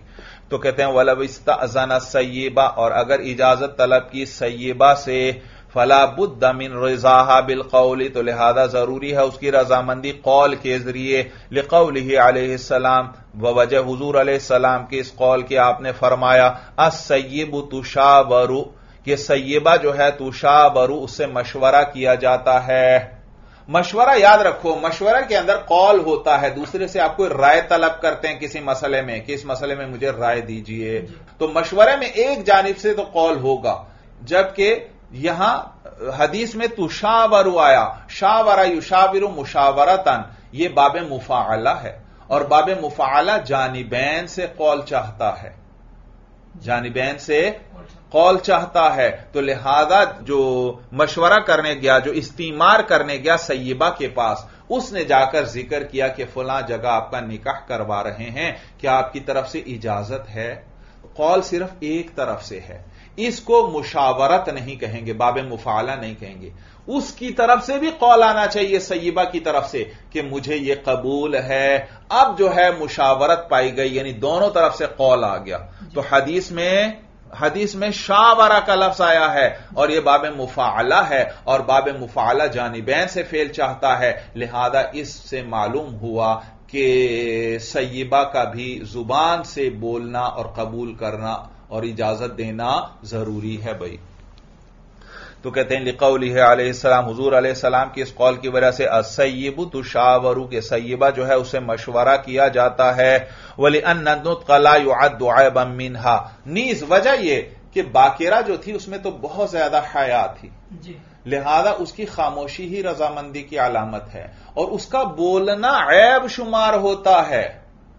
अगर वो अपने ज़ुबान से कहे, हाँ जी, मुझे कबूल है तो सुनने वाले ये औरतें आपस में ऐब बनाएँगी कि देखो, ये तो इतनी बेहया है भाई, इसने जरा भी शर्म और हया नहीं की, फ़ौरन कह दिया, मुझे कबूल है। लिहाजा बाकिरा के अंदर बोलना ऐब शुमार होता है, इस वजह से भी वो खामोश रहेगी। लेकिन सैयबा, उसको तो एक मरतबा मर्द का तजर्बा हो चुका है, उसकी हया उस दर्जे की अब न रही और उसका बोलना ऐब शुमार नहीं होता भाई। लिहाजा उसका बोलना ज़रूरी है। कहते हैं वली अन्नुतकला युद्दुआबम मिनहा इसलिए क्योंकि बोलना जो है वो सैयबा से ऐब शुमार नहीं होता। वकल हया उबिल मुमारसती और नीज इसकी हया भी कम हो गई है। बिल मुमारसती मुमारसत की वजह से। मुमारसत कहते हैं इख्तलात और तजर्बा होना किसी चीज़ का। तो इसको मर्द का तजर्बा हो चुका है जिसकी वजह से इसकी हया निस्बतन कम हो गई। तो कहते हैं वकल हया उबिल मुमारसती और नीज, इसकी हया भी कम हो गई है, मर्द का तजर्बा होने की वजह से। फला मान अमिन नुतफ़ी हक लिहाजा इसके हक में बोलने से कोई चीज़ मान्य नहीं। इसका बोलना ऐब भी नहीं, और नीज, इसकी हया भी निस्पतन कम हो गई। लिहाजा अब इसके लिए बोलने में कोई मुश्किल नहीं है भाई। आगे देखिए, कहते हैं वह इदाजालत बकारतुहा बिवसबतिन औ हैजतिन औ जराहतिन औ तानीसिन फहिया फ़ी हुक्मिल अबकार. भाई, सूरत मसला यह कि मसलन एक बालेगा बाकेरा है, लेकिन उछलने कूदने की वजह से उसकी बकारत जायल हो गई। या इसी तरह है ज़्यादा आने की वजह से उसकी बकारत जायल हो गई। या कोई जख्म वगैरह था जिसकी वजह से उसकी बकारत जायल हो गई। या तानीस की वजह से उसकी बकारत जायल हुई। तानीस कहते हैं कि लड़की वालों का, लड़की को बालिग होने के बाद देर तक बिठाए रखना, उसकी शादी न करना, कि काफ़ी उम्र हो जाए। तो ये जो शादी की उम्र गुजर गई लड़की की तो ये जो ज़्यादा मुद्दत तक लड़की बैठी रहे तो उस सूरत में भी बाज़ात पर्दा बकारत जायल हो जाता है। तो ये जो लड़की की बकारत जायल हुई है उछलने कूदने की वजह से, या हैस की वजह से, या जख्म की वजह से, या तानीस वगैरह की वजह से तो अब इसका क्या हुक्म है? क्या यह अब भी बाकिरा के हुक्म में है, या बाकेरा के हुक्म में नहीं? अगर बाकिरा के हुक्म में होगी तो इसकी खामोशी रजामंदी होगी। अगर ये बाकिरा के हुक्म में नहीं, फिर तो इसकी खामोशी रजामंदी नहीं होगी। तो साहिब हिदायत बतलाएँगे कि ये अभी भी बाकिरा के हुक्म में है। उर्फ़ में इसको भी क्या समझा जाता है? बाकेरा ही समझा जाता है।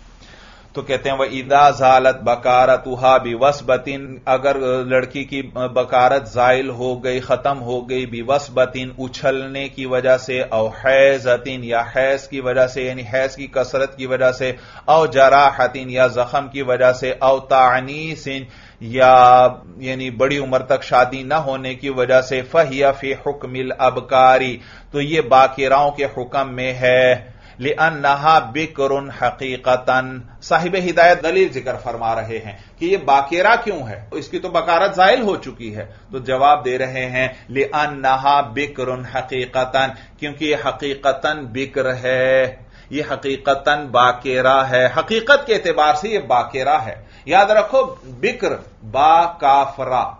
बिक्र। बिक्र का मादा जो है जहाँ भी आएगा इसमें अव्वलियत वाला माना होता है। बिकर का मादा जहाँ भी आएगा उसमें अव्वलियत का माना होता है यानी अव्वल होना पहला होना। जैसे देखो सुबह सवेरे को अरबी में बुकरतुन कहते हैं। बुकरतुन सुबह सवेरे यानी सुबह का अव्वल वक्त। देखा यहाँ अव्वल होने वाला माना आ गया। इसी तरह बाकूरा बाकूरा कहते हैं, दरख्तों पर जो पहला पहला फल आए किसी मौसम में, भाई जब फल पकना शुरू होते हैं एकदम तो सारे फल नहीं पकते। शुरू शुरू में कुछ दरख्तों का फल पकने लगता है, फिर उसके बाद कुछ और का, फिर कुछ और का, इस तरह आहिस्ता आहिस्ता दरख्तों का फल वक्त के साथ साथ पकता चला जाता है। तो शुरू शुरू में जिन दरख्तों पर फल पक गया यह है बाकूरा। हदीस में इसका ज़िक्र आता है कि हुजूर सलाम के पास बाकूरा लाया जाता था। यानी फल पकना शुरू हो गए। शुरू शुरू में बास खजूरों पर खजूरें पक गई, वो लोग हुजूर के पास ले आए, या रसूलुल्लाह, खजूरें पकना शुरू हो गई, ये फल तैयार हो गया। हुजूर के पास वो बाकूरा लाया जाता था। तो नबी करीम सल्लल्लाहु अलैहि वसल्लम बच्चों से इब्तिदा फरमाते थे, बच्चों में उनको तकसीम फरमाते थे। तो देखो, ये बाकूरा अव्वल फल जो तैयार हो दरख्तों के अंदर, उसको बाकूरा कहते हैं। तो जहाँ भी बिक्र का मादा आएगा, वहाँ अव्वल होने वाला माना होगा अव्वलियत वाला माना होगा। और यह जो बाकेरा है जिसकी बकारत जायल हो चुकी है लेकिन बहरहाल जो भी शख्स इससे निकाह करेगा वो इसको अव्वल पाने वाला है। इससे पहले किसी और मर्द ने इस औरत को नहीं पाया।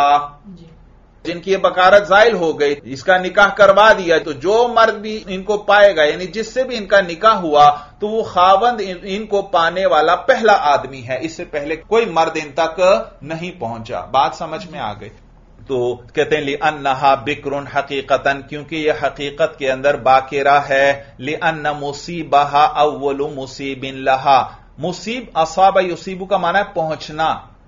लिअन्न मुसीबहा इसलिए क्योंकि इस तक पहुँचने वाला या यूँ तर्जमा कर लें लिअन्न मुसीबहा इसको पा लेने वाला अव्वल मुसीबिन लहा वो इसको पहला पाने वाला है। जिस मर्द ने जिस खामन ने भी इसको पाया है वो इसको पहला पाने वाला है। इससे पहले किसी और मर्द ने इसे नहीं पाया वो इस तक नहीं पहुँचा। तो देखो इसमें बिक्र वाला माना है। अगरचे बकारत जायल हो गई लेकिन इसमें बिक्र वाला माना है। वमीन हुल बाकूरतु वल बुकरतु और इसी से बिकर से बाकूरा भी है दरख्तों पर जो पहला फल तैयार हो किसी मौसम में। वल बुकरतु और इसी से बुकरा भी है सुबह सवेरे जो है यानी अव्वल वक्त जो है। वली अन एक दलील ये साहिब हिदायत दलील ज़िक्र फरमा रहे हैं कि बकारत जायल हो जाए, फिर भी यह बाकिरा के हुक्म में है, क्योंकि हकीकत में यह बिकर ही है। अरबी ज़ुबान के एतबार से यह बिकर ही है। और नीज इसलिए क्योंकि अभी तक इसको मर्द का तजर्बा नहीं हुआ। जब इसको अभी तक मर्द का तजर्बा नहीं हुआ तो इसकी हया उसी तरह बे इंतहा हया है इसके अंदर। लिहाजा इसके लिए बोलना मुश्किल है तो इसकी खामोशी रजामंदी ही समझी जाएगी। ये माना है वली अन्नहा तस्ताहील आदमिल मुमारसती और इसलिए क्योंकि ये हया करेगी मुमारसत न होने की वजह से मर्द का तजर्बा न होने की वजह से ये हया करेगी और इसके लिए जवाब देना मुश्किल होगा भाई। आगे देखिए भाई वलौजालत बकारतुहा बिजिनन फहिया का जालिक वलौजालत बकारतुहा बिजिना याद रखो मैंने पहले भी ज़िक्र किया था जना यजनी जीनन व जीना अन जना यजनी जीनन व जीना अन ये हमजा के साथ भी है और बगैर हमजा के भी है। दर्ज इबारत में जब ये बगैर हमजा के और बगैर अलिफ्लाम के हो तो इस पर तनवीन पढ़ेंगे। जैसे यहाँ पर है वलौसालत बकारतुहा बेजीनन फहिया का जालिक अच्छा भाई सूरत मसला ये। आपको इन्होंने बताया कि बाकेरा से इजाज़त लेंगे तो उसकी खामोशी भी रजामंदी है। और अगर इस बाकिरा की बकारत जो है, किसी जख्म या ज़्यादा उम्र वगैरह या उछलने की वजह से या हैज़ की वजह से बकारत जायल हो जाए, फिर भी यह बाकिरा के हुक्म में है, लिहाजा इसकी खामोशी भी रजामंदी की अलामत होगी। लेकिन अगर कोई लड़की है, उसकी बकारत जिना से जायल हो गई तो इसका क्या हुक्म है भाई? ये सैयबा शुमार होगी इसका ज़ुबान से बोलना ज़रूरी होगा इजाज़त के वक्त, या इसका हुक्म भी बाकेरा वाला है? तो इमाम साहब फरमाते हैं कि इसका हुक्म भी बाकेरा वाला ही है, लिहाजा इसकी खामोशी भी रजामंदी होगी। और जबकि साहिबैन और इमाम शाफी रहमल्ला फरमाते हैं कि नहीं, ये सैयबा हो चुकी है, और इसको एक दफ़ा मर्द का तजर्बा हो चुका है, इसकी हया में कमी आ गई, लिहाजा इसको ज़ुबान से बोलना और इजाज़त देना ज़रूरी है। इसकी खामोशी, रजामंदी की दलील नहीं होगी। मसला समझ में आया? देखिए भाई, कहते हैं, वला उजालत बकारतुहा भी जीना और अगर जायल हो गई उस लड़की की बकारत जीना की वजह से फहिया का दालिक तो भी मसला इसी तरह है। यानी ये बाकिराओं के हुक्म में है। आइंदा अबी हनीफत रहमहुल्ला इमाम साहिब के नज़दीक, वकाल अबू यूसुफ व मोहम्मद व शाफी रहमहुल्ला और इमाम अबू यूसुफ और इमाम मोहम्मद और इमाम शाफी रहमहुल्ला फरमाते हैं, ला युक्तफा बिसुकूतिहा। कि ये तो बाकेरा अब नहीं रही लिहाजा इक्तफा नहीं किया जाएगा इसकी खामोशी पर। ले अनहा सैबुन हकीकतन क्योंकि ये हकीकतन सैब है। ये क्या है? जिना कर चुकी है। ये हकीकत में अब बिक्र रही ही नहीं बल्कि सैब हो चुकी है। सैब याद रखो साब यसूबु सौबन सा के साथ है। साब यसूबु सौबन का माना है लौटना लौटना। सवाब को भी सवाब इसलिए कहते हैं क्योंकि यह हमारे अमल का बदला होता है जो लौटता है हमारी तरफ़। सवाब भी कहते हैं इसी तरह मसूबतुन, सवाब और मसूबतुन का एक ही माना है। मसूबतुन भी सवाब को कहते हैं। इसी तरह मसाबतुन मसाबतुन अरबी ज़ुबान में ठिकाने को कहते हैं। ठिकाना जिसकी तरफ़ आदमी बार बार लौट कर आता है। तवज्जो है। मैंने बताया साब या सूबू का माना है लौटना। सवाब के अंदर भी लौटने वाला माना। मसूबतुन के अंदर भी लौटने वाला माना। इसी तरह मसाबतुन ठिकाने को कहते हैं। इसके अंदर भी लौटने वाला माना है कि आदमी दोबारा उसकी तरफ़ लौटता है भाई। और इसी तरह तस्वीब सवब युसविब तस्वीब का कहते हैं एक ऐलान के बाद दोबारा ऐलान करना। कि मसलन अजान के बाद अजान के बाद, नमाज़ से पहले दोबारा ऐलान करना, लोगों को कहना असलाह असलाह भाई एक दफ़ा अजान हो गई। लोगों को पता चल गया, नमाज़ का वक्त हो गया है, अब नमाज़ खड़ी होने वाली है। तो दरमियान में जो 15-20 मिनट हैं, इस दौरान फिर बाज अवकात दोबारा ऐलान किया जाता है, ताकि किसी की अगर तवज्जो ना हो, अपने काम में मशगूल है, वो दोबारा मुतवजह हो जाए नमाज़ की तरफ़। तो ये जो अजान और इकामत के दरमियान दोबारा ऐलान किया जाए चाहे कोई भी लफ्स हो मसल असलाह असलाह कह दिया या कोई भी लफ्स हो जिससे लोगों को नमाज़ की इतला हो जाए इसको तस्वीब कहते हैं। क्या कहते हैं? तस्वीब। बात यह चल रही है कि साब यसूबू सौबन का माना है लौटना। और इसी से तस्वीर भी है। उसमें भी ऐलान को लौटाया जाता है। एक ऐलान हो चुका है नमाज़ का दोबारा उस ऐलान को लौटाया जाता है। तो ये जो सैयबा है सैयबा को भी सैयबा इसलिए कहते हैं क्योंकि इसको पाने वाला इसकी तरफ़ दोबारा लौटा है। इस तक पहुँचने वाला जो है वो इस तक पहला पहुँचने वाला नहीं है बल्कि लौटने वाला है यानी दूसरा है। जी। यानी दूसरा। है जो इस तक पहुँचने वाला है। तो लिहाजा यह सैयब है। बात समझ में आ रही है? साहिबैन और इमाम शाफी रमला की दलील चल रही है। वो फरमाते हैं कि वो लड़की जो जिना से जिसकी बकारत जायल हो जाए। हकीकत के एतबार से सईबा है क्योंकि इसको पाने वाला जो भी होगा वो पहली दफ़ा पाने वाला नहीं होगा। इसीलिए इसको सईबा कहते हैं। तो लिहाजा इसकी खामोशी रजामंदी की अलामत नहीं है। देखिए भाई किताब पर साहिब हिदायत मजीद बेहतर अल्फाज में ज़िक्र फरमाएँगे। तो कहते हैं, वकाल अबू यूसुफ व मोहम्मद व शाफी रहीमल्ला देखो भाई, यहाँ पर इमाम साहब और साहिबैन का इख्तिलाफ आ रहा है। इमाम साहब फरमाते हैं, ये लड़की अभी भी बाकिरा के हुक्म में है, इसकी खामोशी भी रजामंदी है। साहिबैन इमाम शाफी रहमल्ला के साथ हैं कि नहीं, इसकी खामोशी रजामंदी नहीं है। वाले साहब रहमल्ला फरमाते थे कि इमाम साहब और साहिबान का इख्तलाफ वहाँ आता है, जहाँ इमाम साहब मसले की इंतहाई गहराई में चले जाएँ। इमाम साहब बाज अवकात मसले की इतनी गहराई में चले जाते हैं कि वहाँ तक पहुँचना किसी और के बस की बात नहीं होती। तो साहिबैन जब मसले की उतनी गहराई तक नहीं जा सकते तो उसका नतीजा फिर इख्तिलाफ की सूरत में ज़ाहिर होता है। तो इमाम साहब फरमाते हैं, अभी भी बाकीरा के हुक्म में है। वकाल अबू यूसुफ मोहम्मद व शाफी रहमल्ला और साहिबैन और इमाम शाफी रहमल्ला फरमाते हैं, ला इतफा भी सुकूती हा कि इसकी खामोशी पर इक्तफा नहीं किया जाएगा ले अनहा सैबुन हकीकतन, क्योंकि हकीकत में सैब है। सैब किससे है?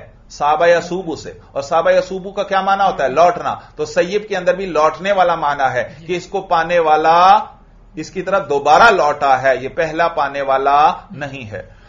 ले अन्ना सैबुन हकीकतन क्योंकि यह हकीकत में सैब है। ले अन्ना मुसीबहा आदुन इलेहा इसलिए क्योंकि इसको पाने वाला, इसकी तरफ़ लौटने वाला है। वो दोबारा इसकी तरफ़ लौटा है। यह माना नहीं है कि भाई उसी शख्स से निकाह हो रहा है, जिससे जिना हुआ था, उसी से निकाह हो, फिर तो हम कहेंगे वही शख्स लौट कर आया है इसकी तरफ़। इसी शख्स ने पहले भी इसको पाया था, और अब वही मुसीब इसकी तरफ़ क्या है? आइद है लौट कर आ रहा है। नहीं ये माना नहीं है। जिनसे मुसीब मुराद है। इसने जो भी इसको पाएगा वो मुसीब है।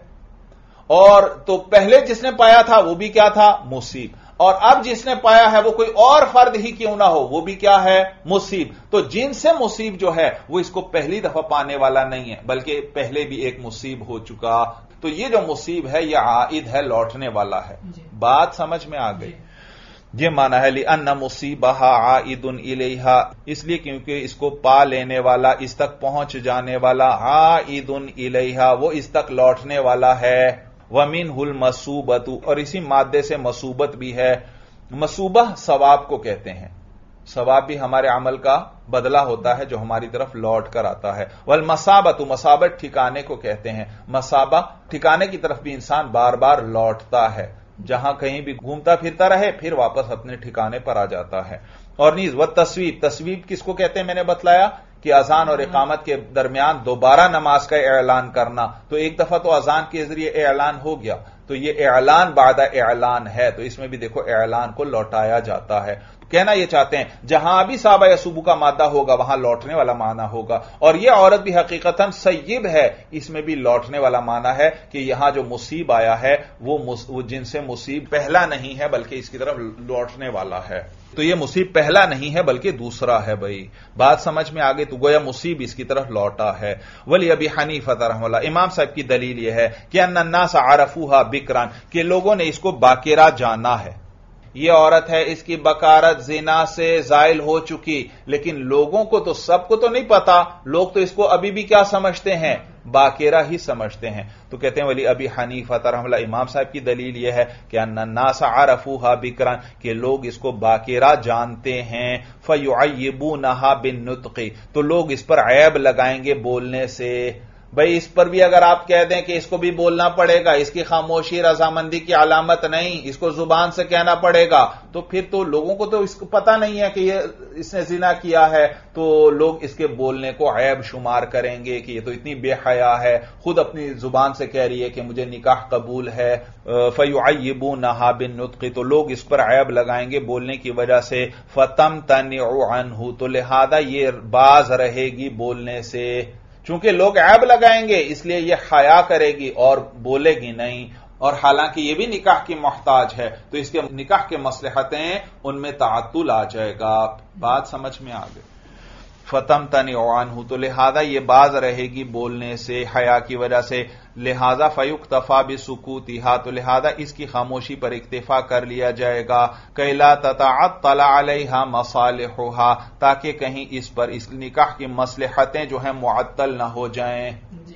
अगर इसका बोलना ज़रूरी करार दें और ये बेचारी बोलती नहीं है तो फिर तो निकाह करवाना ही मुश्किल हो जाएगा इसका। तो इसकी निकाह की मसलहतें मुअत्तल रहेंगी, इसको हासिल नहीं हो सकेंगी। तो यह माना है कि फयुक तफा भी सुकूतिहा इसकी खामोशी पर इक्तफा कर लिया जाएगा। कैला तताअत तला अलहा मसाल होहा ताकि कहीं इस औरत पर इसकी मसलहतें जो हैं, यानी इसकी निकाह की जो मसलहतें हैं, वो इस पर मुअत्तल ना रहें।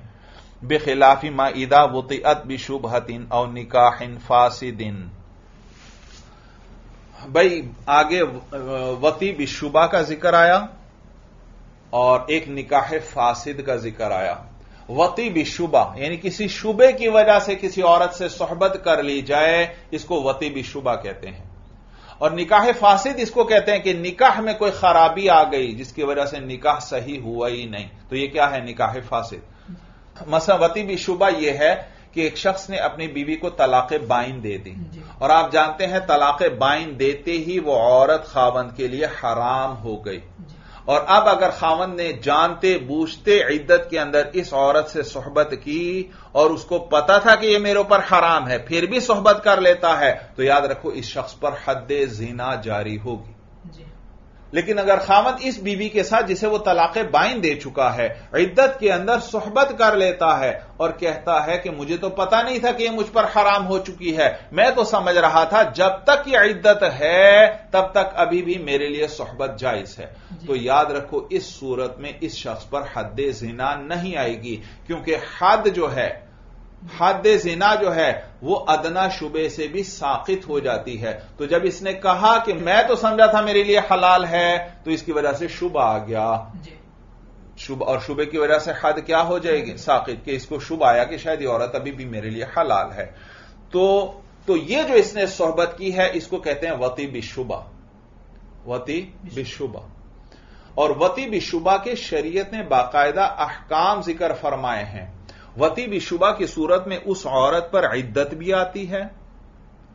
वती के बाद अब उसको फिर तीन हैज़ गुजारने पड़ेंगे। नीज, अगर इस वती से औलाद पैदा हुई तो वो इसी खावंद की शुमार होगी। ये वलदुजीना शुमार नहीं होगा भाई। बात समझ में आ गई भाई। और नीस इस वती का भी महर देना पड़ेगा खावंद को। भाई, तुम तो तलाक दे चुके हो। पहला महर नहीं, अब इस वती का अलग महर देना पड़ेगा। तो ये जो वती भी शुबा होती है, इसके बाकायदा शरीयत की तरफ़ से अहकाम है कि इसमें नसब भी साबित होता है, इसमें इद्दत भी औरत पर आती है और नीज महर भी देना पड़ता है।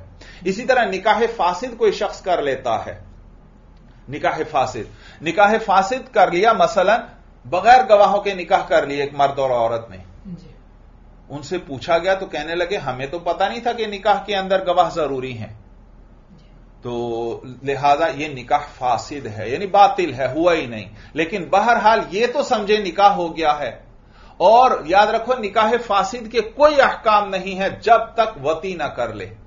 यानी निकाह फासिद की वजह, निकाह तो हुआ ही नहीं।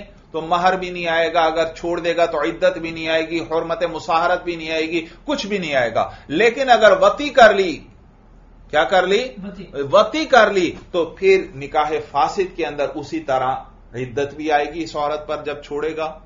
और नीज नसब भी साबित होगा। अगर बच्चा पैदा हुआ वो इस शख्स का बच्चा शुमार होगा। ये वलदुजीना शुमार नहीं होगा भाई। और महर भी देना पड़ेगा। तो बगैर गवाहों के निकाह कर लिया। या इसी तरह एक शख्स ने एक औरत को तलाक दे दी। वो औरत अभी इद्दत में है कि एक और आदमी ने उससे निकाह कर लिया। और वो कहता है भाई मुझे तो पता नहीं था कि इद्दत के अंदर निकाह जायज़ नहीं होता। तो ये भी निकाह फासिद है। या एक शख्स है उसके अकद में चार औरतें मौजूद हैं उसने पांचवीं से निकाह कर लिया। तो ये भी क्या है? निकाह फासिद है। और याद रखो निकाह फासिद के अंदर तलाक वगैरह भी नहीं होगी क्योंकि निकाह हुआ ही नहीं है। हाँ एक दूसरे को छोड़ने का पक्का इरादा कर लें। क्या कर लें? पक्का इरादा कर लें। बस इसको कहते हैं मुतारकत तर्क करना बाहम एक दूसरे को।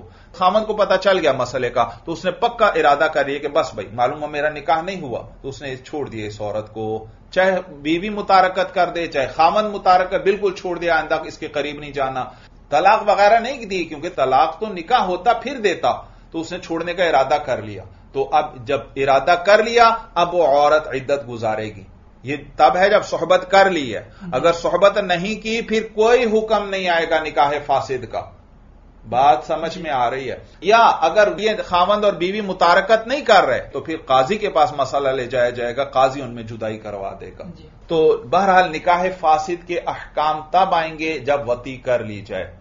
और याद रखो जो निकाह फासिद में वती है यह भी वती बिशुबा ही है। क्या है? वती भी शुबा ही है कि उसने शुबे की वजह से वती कर ली कि शायद मेरा तो निकाह हो चुका है। हालाँकि निकाह तो नहीं हुआ था। लेकिन यहाँ पर वती भी शुबा को अलग ज़िक्र किया, निकाह फासिद को अलग ज़िक्र किया। क्योंकि निकाह फासिद में जो वती होगी, वो तो है वती भी शुबा। निकाह फासिद के बगैर भी वती भी शुबा हो सकती है। निकाह फासिद के बगैर भी वती भी शुबा पाई जा सकती है। जैसे मैंने मिसाल ज़िक्र कर दी, खावन ने बीवी को तलाक बाइन दे दी है। और फिर इद्दत के अंदर वती कर रहा है तो यहाँ तो कोई तलाक देने के बाद दोबारा कोई निकाह नहीं है। तो वती भी शुबा तो है लेकिन निकाह फासिद नहीं। तो कभी वती भी शुबा निकाह फासिद की वजह से होगी कभी बगैर निकाह के ही होगी वती भी शुबा। बात समझ में आ गई। तो ये है वती भी शुबा भाई। तो निकाह फासिद में जो वती होगी वो भी वती भी शुबा है लेकिन निकाह फासिद के बगैर भी वती भी शुबा हो सकती है भाई। बात समझ में आ गई। या दूसरी मिसाल ले लें। एक शख्स है उसका एक जगह निकाह हुआ। और कुछ औरतों ने शरारत की कि देखो इसको ये अपनी बीवी को पहचानता है या नहीं पहचानता। लिहाजा उन्होंने एक और औरत को दुल्हन बनाकर उसके कमरे में बिठा दिया कि ये आएगा देखते हैं उसको पहचानता है या नहीं। और ये आदमी आया इसने आकर पहचानने के बजाय फ़ौरन ही वती कर ली उसके साथ। इसको तो नहीं था पता ये मेरी बीवी नहीं है। तो ये वती भी शुबा है भाई। बात समझ में आ गई भाई। याद रखो, कीमती बात है, ममलिकत इस्लामिया के अंदर। जो शख्स भी वती करता है, किसी औरत से सोहबत करता है, दो चीज़ों में से एक उस पर ज़रूर आएगी। या तो अगर ये उसने हराम वती की है तो फिर इस सूरत में हद आएगी हद आएगी। और अगर ये हलाल वती की है तो वहाँ मालूम हो वो बीवी है, वहाँ महर देना पड़ता है। और अगर वती भी शुबा की है, शुबे की वजह से यह समझा, ये औरत मेरे लिए हलाल हो चुकी है तो इस सूरत में भी महर देना पड़ेगा।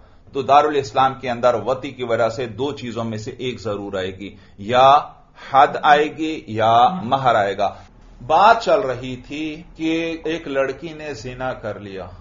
अब ये बाकिराओं के हुक्म में है या सैयबा के हुक्म में है? साहिबैन और इमाम शाफिर हमला फरमाते हैं यह हकीकत में सैयबा हो चुकी है, लिहाजा इसकी खामोशी का एतबार नहीं है, ज़ुबान से इजाज़त इसका देना ज़रूरी है निकाह के लिए। जबकि इमाम साहब फरमाते हैं कि इसको तो लोग अभी भी बाकेरा ही समझते हैं। तो अगर ये बोलेगी तो इसके लिए ऐब का बायस बनेगा तो ये हया की वजह से खामोश रहेगी, और जब खामोश रहेगी तो इसके निकाह का मसला बनेगा। लिहाजा ये अभी भी बाकिरा के हुक्म में है, इसकी खामोशी भी रजामंदी की अलामत है। और बाकी आप इसको, ये जो लड़की जिसने जिसकी बकारत जिना से जायल हुई है, आप इसको वती बिशुभा और निकाह फासिद पर कयास नहीं कर सकते। इसके जिना को आप इसके जिना को वती बिशुबा या निकाह फासिद पर कयास नहीं कर सकते। इसलिए क्योंकि वती बिशुबा और निकाह फासिद के शरीयत ने बाकायदा अहकाम बतलाए हैं। जब शरीयत की तरफ़ से अहकाम आ रहे हैं मालूम शरीयत उनको ज़ाहिर कर रही है।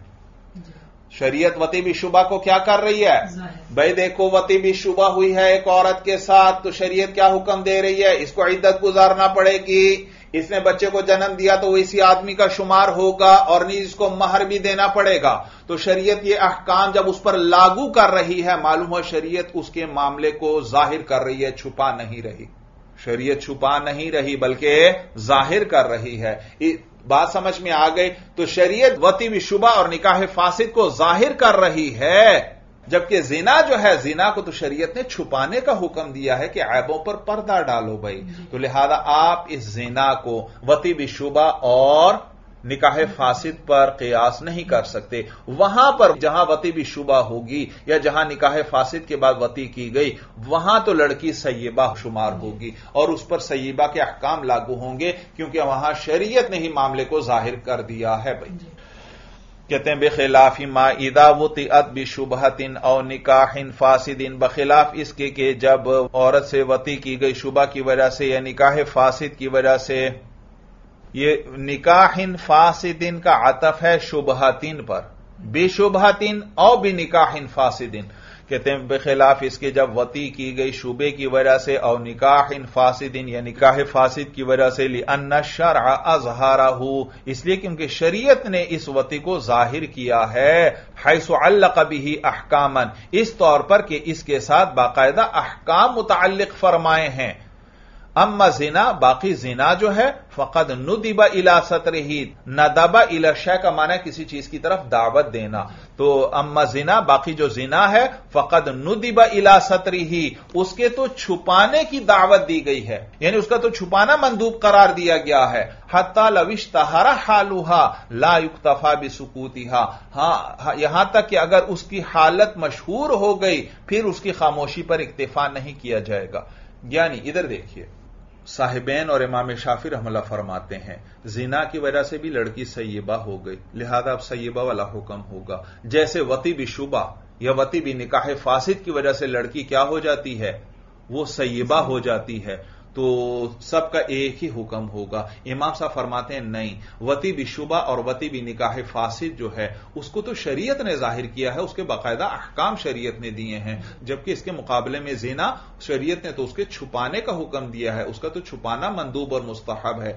लिहाजा आप इस जीना को, उस वती भी शुबा और वती भी निकाह फासिद पर कयास नहीं कर सकते। हाँ, अगर ये जो लड़की है, इसका जीना मशहूर हो गया कैसे इसमें शुरू हुआ? मसलन उस पर हद जिना जारी हो गई। काजी तक मामला चला गया और हद जिना जारी हो गई। या ये जिना करना इसकी आदत है, सबको पता है भाई। सबको पता है। तो फिर इस सूरत में तो अब इसकी जिना की शोहरत हो चुकी है, सबको पता है। लिहाजा अब यह सैयबा के हुक्म में ही है। अगर हद जारी कर दी गई इस पर, या इसकी आदत हो बन गई है, लोगों को पता है तो अब यह सैयबा के हुक्म में है अब इसकी खामोशी पर इक्तफा नहीं। नहीं किया जाएगा। यह माना है हता लविश्ता हरा हालुहा। यहाँ तक कि अगर इसकी हालत मशहूर हो गई यानी हद कायम कर दी गई इस पर यह आदत बन गई जिना इसकी तो लायुक्तफा भी सुकूती हा तो फिर इसकी खामोशी पर इक्तफा नहीं किया जाएगा। आगे देखिए भाई कहते हैं, वह ईदा काल जौजू बलगा की निकाह फसकती वकालत रदत तुफल कौलू कौलुहा. सूरत मसला ये कि मियाँ बीवी में इख्तलाफ आ गया। वली ने निकाह करवाया था एक आखिला बालिगा का और फिर बाद में अब इख्तलाफ आ गया उस औरत में और खावंद में। खावंद कहता है, निकाह हो चुका है क्योंकि जब तुम्हें वली ने निकाह की खबर दी थी तो तुम खामोश रही थी। वो कहती है, नहीं, मैं खामोश नहीं रही थी, मैंने रद्द कर दिया था, मैं तुम्हारी बीवी नहीं हूँ भाई। तो अब यह काजी के पास मसला चला गया और गवाह किसी के पास भी नहीं है। तो अब इस सूरत में किसका कौल मोतबर है? याद रखो फिका का जबता। हदीस में है अलबैन तो अलमुद्दाई वलियमीन अला मन अन करा अलबैन तो अलल मुद्दाई। मुद्दाई के जिम्मे बैना है यानी गवाही है। गवाहों को वो पेश करेगा। वल यमीन अला मन अन करा और कसम उस पर है जो इनकार करता है। भाई जब भी किसी मसले में झगड़ा होगा दोनों में से एक शख्स दावा करेगा और दूसरा इनकार करेगा। मसलन जैद के पास एक बांदी है एक आदमी दावा करता है ये बांदी मेरी है और जैद क्या करता है? इनकार। तो जो दावा कर रहा है, वो है मुद्दाई। और जिस पर दावा किया, वो है मुद्दा हल यानी जिस पर दावा किया गया है। और याद रखो, ये जो गवाह पेश करना है, ये मुद्दाई के जिम्मा होते हैं। मुद्दाई के जिम्मे गवाह होते हैं। अगर वो गवाह पेश न कर सके तो फिर मुद्दा आलय पर कसम आती है। मुद्दाई गवाह पेश करेगा। और जो इनकार करने वाला है, उसके जिम्मे कसम है। तो मुद्दाई गवाह पेश करेगा। मुद्दाई की कसम का और मुद्दाई के कौल का कोई एतबार नहीं। उसके जिम्मे गवाह है, उसको गवाह पेश करने पड़ेंगे। और जो शख्स इनकार कर रहा है, उसके गवाहों का कोई एतबार नहीं है। उसके जिम्मे कसम है भाई। तो गवाही किसके जिम्मे होती है? मुद्दाई के। और कसम किसके जिम्मे होती है? मुद्दा आलय के भाई। ये जबता हमेशा याद रखना।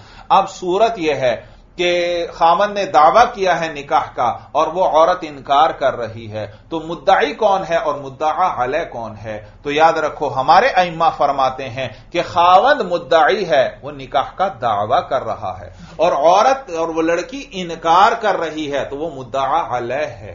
तो और मुद्दाई के जिम्मे गवाह होते हैं तो खावंद के जिम्मे गवाह हैं लेकिन गवाह तो उसके पास है नहीं।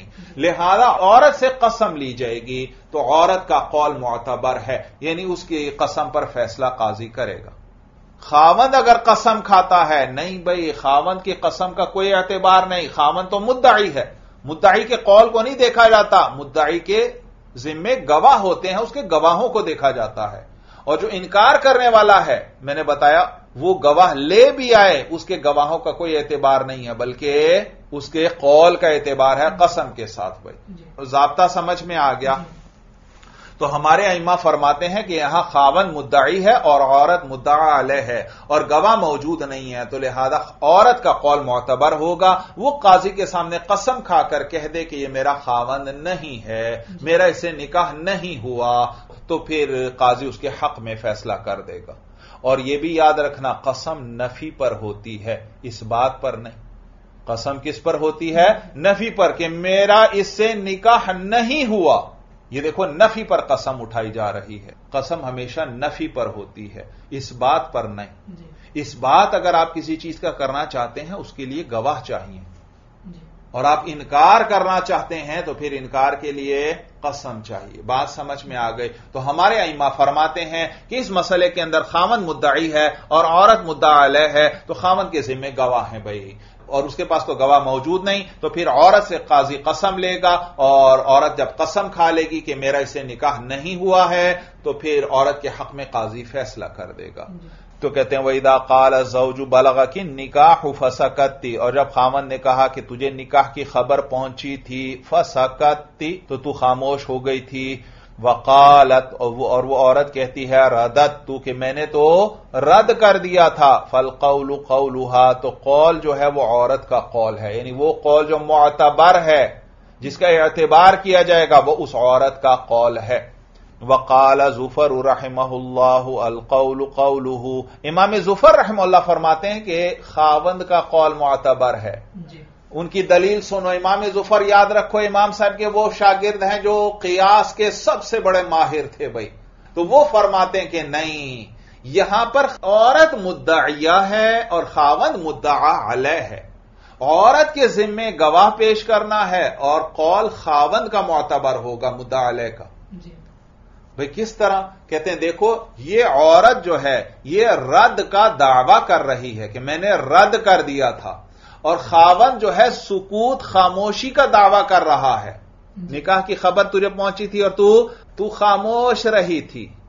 और याद रखो एक है खामोशी एक है बोलना। खामोशी असल है। देखो मैं बोल रहा हूँ मैं तकरीर कर रहा हूँ। इससे पहले क्या थी? खामोशी। तो पहले खामोशी होती है फिर उसके बाद बोलना पाया जाता है। तो खामोशी हुई असल। और बोलना उसके बाद पेश आया, वो हुआ खिलाफुल असल। बोलना क्या है? खिलाफुल असल है। और यहाँ खाबंद क्या दावा कर रहा है? तू खामोश रही थी। निकाह की खबर तुझे पहुँची थी और तू खामोश तो खामंद खामोशी का दावा कर रहा है, यानी असल का। और औरत जो है कह रही है नहीं मैंने रद्द कर दिया था यानी मैं बोली थी मैंने रद्द कर दिया था। और रद्द तो आरिज होता है बाद में पेश आता है वो तो खिलाफुल असल है। तो औरत दावा कर रही है खिलाफुल असल का। मैंने अभी तक क्या जबता बताया? कि मुद्दाई के जिम्मे बैना और मुद्दा अलह पर कसम होती है। इसी को दूसरे लफ्जों में यूँ समझो कि मुद्दाई वो होता है जो खिलाफुल असल का दावा करे। और जो असल का दावा करे वो मुद्दा ही नहीं होता वो मुद्दा अलह होता है। खामन ने क्या कहा? तुम खामोश रही थी। और खामोशी क्या है? असल। असल। और मुद्दाई वो होता है जो खिलाफुल असल का दावा करे। फिर तवज्जो से सुन। खामन ने किसका दावा किया? खामोशी का। और खामोशी असल है या खिलाफुल असल है? असल है। असल पर जो दावा करे वो मुद्दाई नहीं होता। जो खिलाफुल असल पर दावा करे वो मुद्दाई होता है। और औरत किसका दावा कर रही है? रद्द करने का बोलने का मैंने रद्द कर दिया था। और बोलना क्या है? खिलाफुल असल। और जो खिलाफुल असल का दावा करे वो मुद्दाई होता है।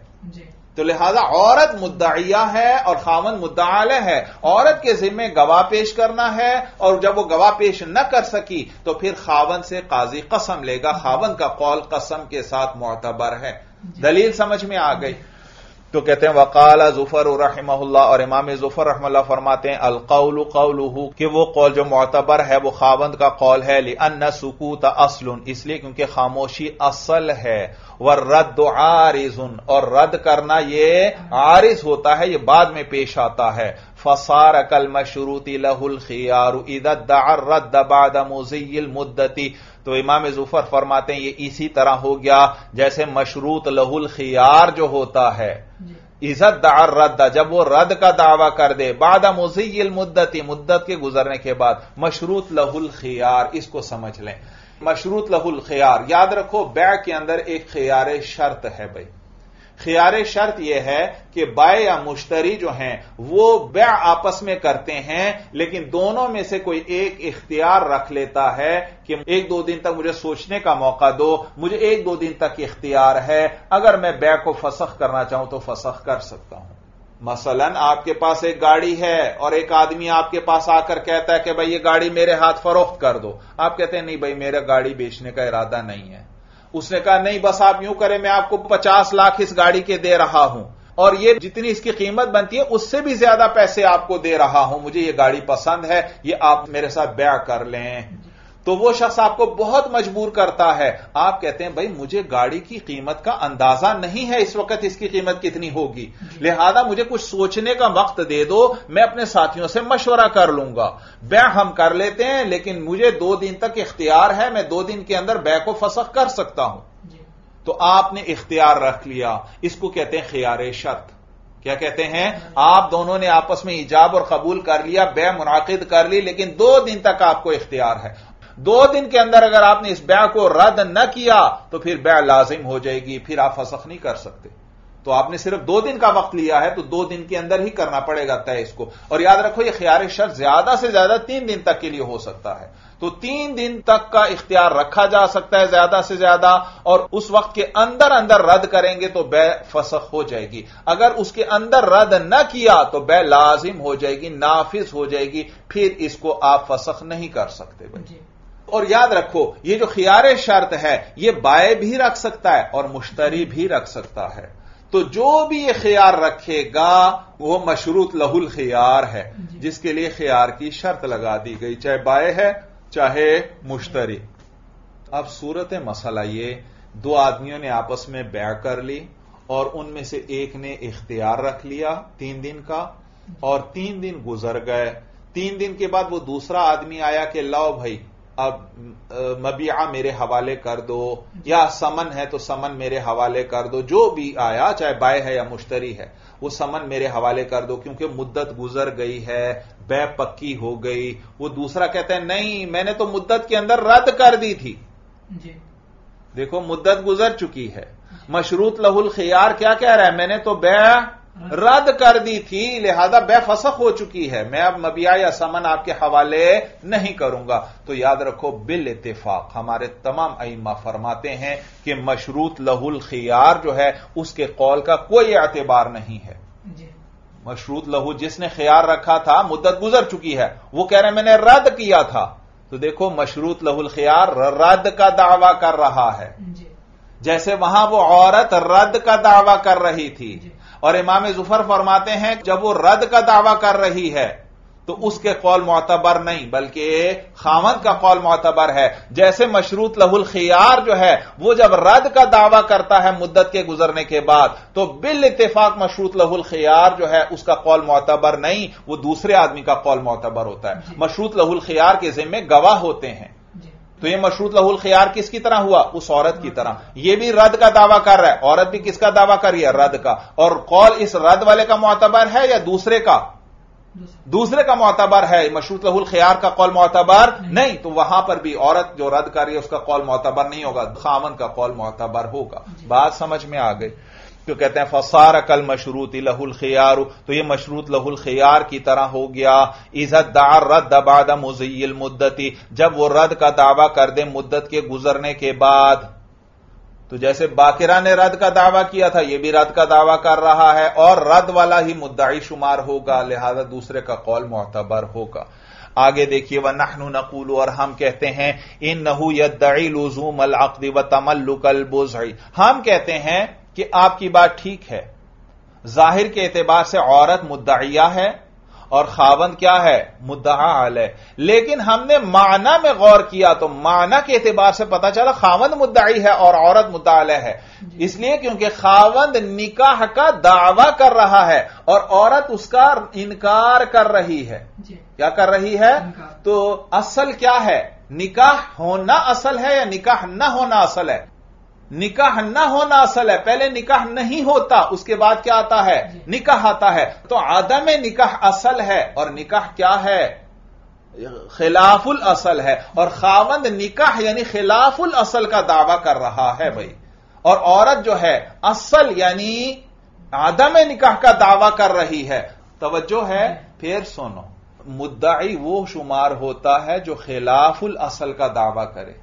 और जो असल का दावा करे वो क्या होता है? मुद्दा हाल है। हमने माना में गौर किया तो हमने देखा खावन निकाह का दावा कर रहा है और औरत आदम निकाह का दावा कर रही है। और आदम निकाह असल है और निकाह क्या है? खिलाफुल असल है। और खिलाफुल असल का जो दावा करता है वो मुद्दाई होता है। लिहाजा खावन मुद्दाई है वो निकाह का दावा कर रहा है और औरत उसका इनकार कर रही है और मुद्दाई के जिम्मे बैना होती है और मुद्दा के जिम्मे कसम होती है अगर गवाह ना हो तो। तो यहाँ पर इसलिए औरत का कौल मोतबर है।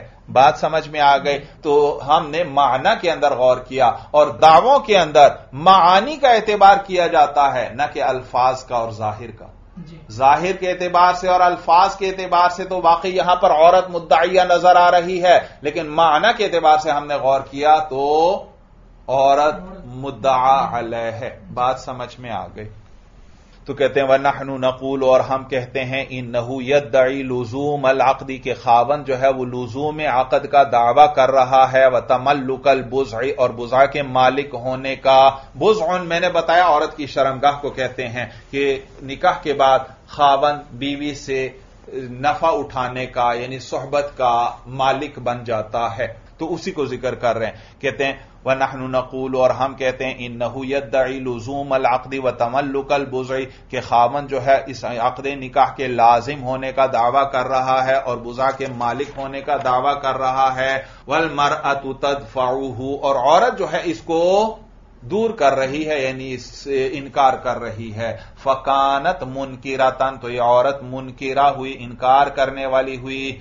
कल मुदा ईदा रद्दल जैसे मुदा जब वो दावा करे, अमानत के रद्द करने का हम जवाब दे रहे हैं। इमाम जुफर रहमल्ला ने इस औरत के रद्द को किसके रद्द पर कयास किया था? मशरूत लहुल खियार के रद्द पर। हम कहते हैं कि ये इस औरत के रद्द को आप मुदा के रद्द पर कयास करें।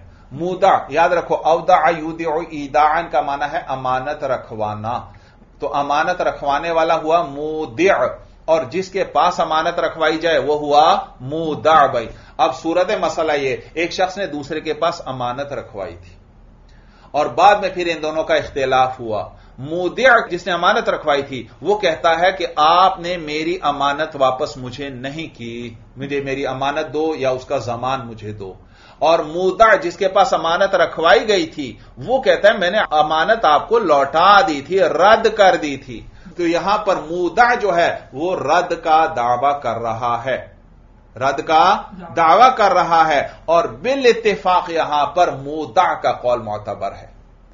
ए इमाम जुफर, इस मुदा के मसले में आप भी फरमाते हैं कि मुदा का कौल मोतबर है। हालाँकि मुदा तो रद्द कर रहा है तो जैसे वो औरत रद्द कर रही थी और हमने कहा औरत का कौल मोतबर है। यहाँ मुदा के मसले के अंदर मुदा रद्द का दावा कर रहा है और इस मसले में आप भी मानते हैं कि मुदा ही का कौल मोतबर है। इसलिए क्योंकि माना के एतबार से यह मुनकिर है।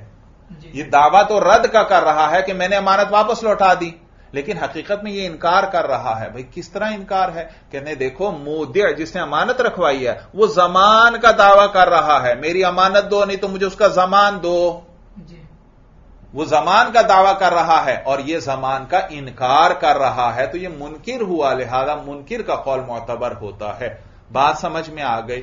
तो हम इस औरत के रद को किस पर कयास करते हैं? मुदा के रद पर। और बिल इतफाक मुदा जो है उसका कौल मोतबर है तो इस औरत का भी कौल मोतबर होगा। तो कहते हैं, फकानत मुनकिरातन तो यह औरत मुनकिरा होगी, इनकार करने वाली होगी। कल मुदा ईदल वदियाती जैसे मुदा जब वो दावा कर दे अमानत के वापस लौटाने का। बेखिलाफ मसअलतिल खियारी, बखिलाफ मसला खियार के। इमाम जुफर रहमल्ला ने औरत के रद को मशरूत लहुल खियार के रद पर कयास किया था। और जैसे मशरूत लहुल खियार का कौल मोतबर नहीं तो औरत का भी कौल मोतबर नहीं। हम कहते हैं कि मशरूत लहुल खियार का कौल खिलाफ ज़ाहिर है। इसलिए उसका कौल मोतबर नहीं। याद रखो जबता। पहला जबता क्या? कि अलबैन तो आलमुद्दाई वल यमीन आलामन अनकरा। मुद्दाई के जिम्मे बैना होती है। अगर वो बैना पेश न कर सके फिर मुद्दा आलय पर कसम आएगी यानी वो जो इनकार करने वाला है। और फिर मैंने ये भी बताया था कि एक है असल एक है खिलाफुल असल। जो खिलाफुल असल का दावा करे वो होता है मुद्दाई।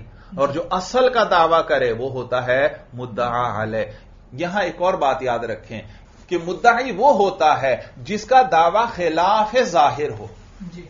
ज़ाहिर के खिलाफ हो जिसका दावा वो होता है मुद्दाई। और जिसका दावा ज़ाहिर के मुताबिक हो वो होता है मुद्दा हल है भाई और मशरूत लहुल खियार उसका कौल मुतबर नहीं। मुद्दत के गुजर जाने के बाद अब वो क्या कह रहा है कि मैंने मुद्दत के अंदर रद्द कर दिया था। हम कहते हैं उसका यह कौल खिलाफ ज़ाहिर है। जब यह खिलाफ ज़ाहिर है इसका कौल मालूम हो यह मुद्दाई है इसका कौल नहीं मोतबर इसके में तो बैना थी। इसका कौल क्या है? खिलाफ ज़ाहिर है। और जिसका दावा खिलाफ ज़ाहिर होता है वो मुद्दाई होता है। उसके जिम्मे बैना होती है उसके कौल का कोई एतबार नहीं। बखिलाफ मसअलतिल खियारी, बखिलाफ मसल खियार के लिअन लजूम कद जहरा बिमुजिल मुद्दती। इसलिए क्योंकि लजूम तहकीक ज़ाहिर हो चुका है मुद्दत के गुजरने की वजह से। भाई, हम जवाब देते हैं कि आपने क्या कहा कि मशरूत लहुल खियार जो है वो रद्द कर रहा है और बिल इतफाक उसके कौल का कोई एतबार नहीं। तो यह औरत भी रद्द कर रही है, लिहाजा इसके भी कौल का कोई एतबार नहीं होना चाहिए। तो याद रखो, हम कहते हैं कि यहाँ मुद्दत गुजर गई है वो खियार वाली मुद्दत गुजर गई। तो खियार मुद्दत के गुजरने की वजह से वो अकद का लुजूम ज़ाहिर हो चुका। यानी यूँ कहो कि ज़ाहिर उस आकद के होने का मुद है। ज़ाहिर क्या बतला रहा है? ज़ाहिर हाल बतला रहा है। भाई, इख्तियार दो दिन का था या तीन दिन का था? और वो दो तीन दिन तो गुजर चुके हैं। उसके बाद अब ये झगड़ा हो रहा है। तो ज़ाहिर तो तायीद कर रहा है कि मुद्दत तो गुजर चुकी है। अब इसके रद्द का कोई एतबार नहीं है भाई। बात समझ में आ गई? तो ज़ाहिर जो है, वो मशरूत लहुल खियार के रद्द की तायीद नहीं कर रहा। रद्द की तायद नहीं कर रहा, बल्कि ज़ाहिर जो है दूसरे शख्स के कौल की तायद कर रहा है। ज़ाहिर जो है दूसरे शख्स के कौल की तायद कर रहा है। और याद रखो, जबता यह है कि कौल उस शख्स का मोतबर होता है कि ज़ाहिर जिसकी तायद कर रहा हो। कौल उस शख्स का मोतबर हो कि ज़ाहिर जिसकी तायद कर रहा हो। मसलन देखो, जैद के पास एक बांदी है। अमर ने आकर दावा कर दिया कि यह बांदी मेरी है, काजी से भी मुझे दिलाएँ। काजी के पास चले गए। काजी ने आमर से कहा आपने दावा किया है आप गवाह पेश करें। और वो गवाह पेश नहीं कर सकता तो जैद से कसम ली जाएगी। और जैद जब कसम खा लेगा कि यह बांदी अमर की नहीं है। जैद ये कसम नहीं खाएगा कि यह बांदी मेरी है। क्योंकि तो इस बात है कसम हमेशा नफी पर होती है कि जैद कसम खाएगा कि काजी से वल्लाह ये बांदी अमर की नहीं है तो काजी जैद के हक में फैसला कर देगा। तो देखो जैद के कौल का एतबार किया काजी ने क्योंकि ज़ाहिर जैद का मुआयद है। और मैंने आपको बतलाया कि ज़ाहिर जिसकी तायद कर रहा हो कौल उसी का मोतबर होता है। ज़ाहिर क्या बतला रहा है? ये बांदी किसकी है? ज़ाहिर ये बतला रहे, ये बांदी जैद की है, क्योंकि जैद के पास थी, जैद की मिल्कियत में थी। अमर ने आकर क्या कर दिया? दावा। तो ज़ाहिर किसकी तायद कर रहा है? तो जैद की तायद कर रहा है कि यह बांदी अमर की नहीं। तो ज़ाहिर जिसकी तायद करे, उसका कौल मुतबर होता है। और मशरूत लहुल खियार के अंदर भी वो रद्द का दावा कर रहा है कि मैंने तो ब्या को रद्द कर दिया था लेकिन अब तो मुद्दत गुजर चुकी है। और मुद्दत के गुजरने के बाद वो अकद लाजिम हो जाता है। मुद्दत के गुजरने के बाद वो रद्द नहीं हो सकता। तो यहाँ पर यहाँ पर ज़ाहिर जो है मशरूत लहुल खियार की ताइद नहीं कर रहा दूसरे की ताइद कर रहा है। लिहाजा इसलिए दूसरे का कौल मोतबर होगा। मशरूत लहुल खियार का कौल मोतबर नहीं। तवज्जो है फिर सुनो फिर सुनो। कि कौल उसका मोतबर होता है ज़ाहिर जिसकी तायद कर रहा हो। ज़ाहिर जिसका मुआयद हो, उसका कौल मोतबर होता है। और ये जो मशरूत लहुल खियार वाला मामला है, इसमें वो दिन गुजर चुके हैं जिनमें इख्तियार था। उनके गुजरने के बाद अब ये झगड़ा है। तो यहाँ पर ज़ाहिर जो है, वो दूसरे शख्स का मुआयद है, क्योंकि मुद्दत खियार गुजर चुकी है। और मुद्दत खियार के गुजरने के बाद आकद लाजिम हो जाता है, उसको रद्द नहीं किया जा सकता। और मशरूत लहुल खियाल तो रद्द का दावा कर रहा है।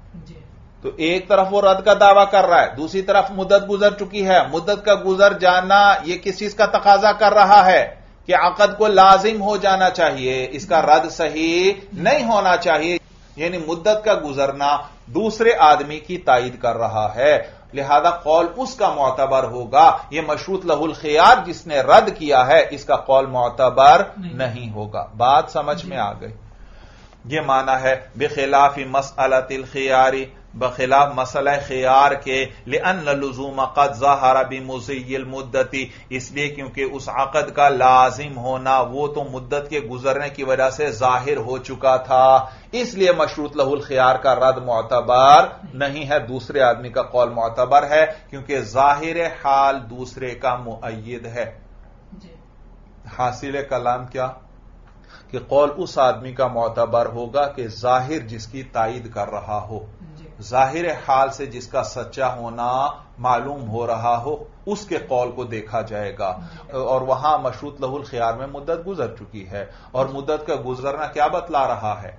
कि आकद को लाजिम होना चाहिए, रद्द नहीं होना चाहिए तो ज़ाहिर जो है वो दूसरे आदमी का मुयद है। लिहाजा उस दूसरे आदमी का कौल मोतबर होगा। क्योंकि कौल उसका मोतबर होता है जिस जिसके ज़ाहिर जिसकी तायद करता है। बात समझ में आ गई।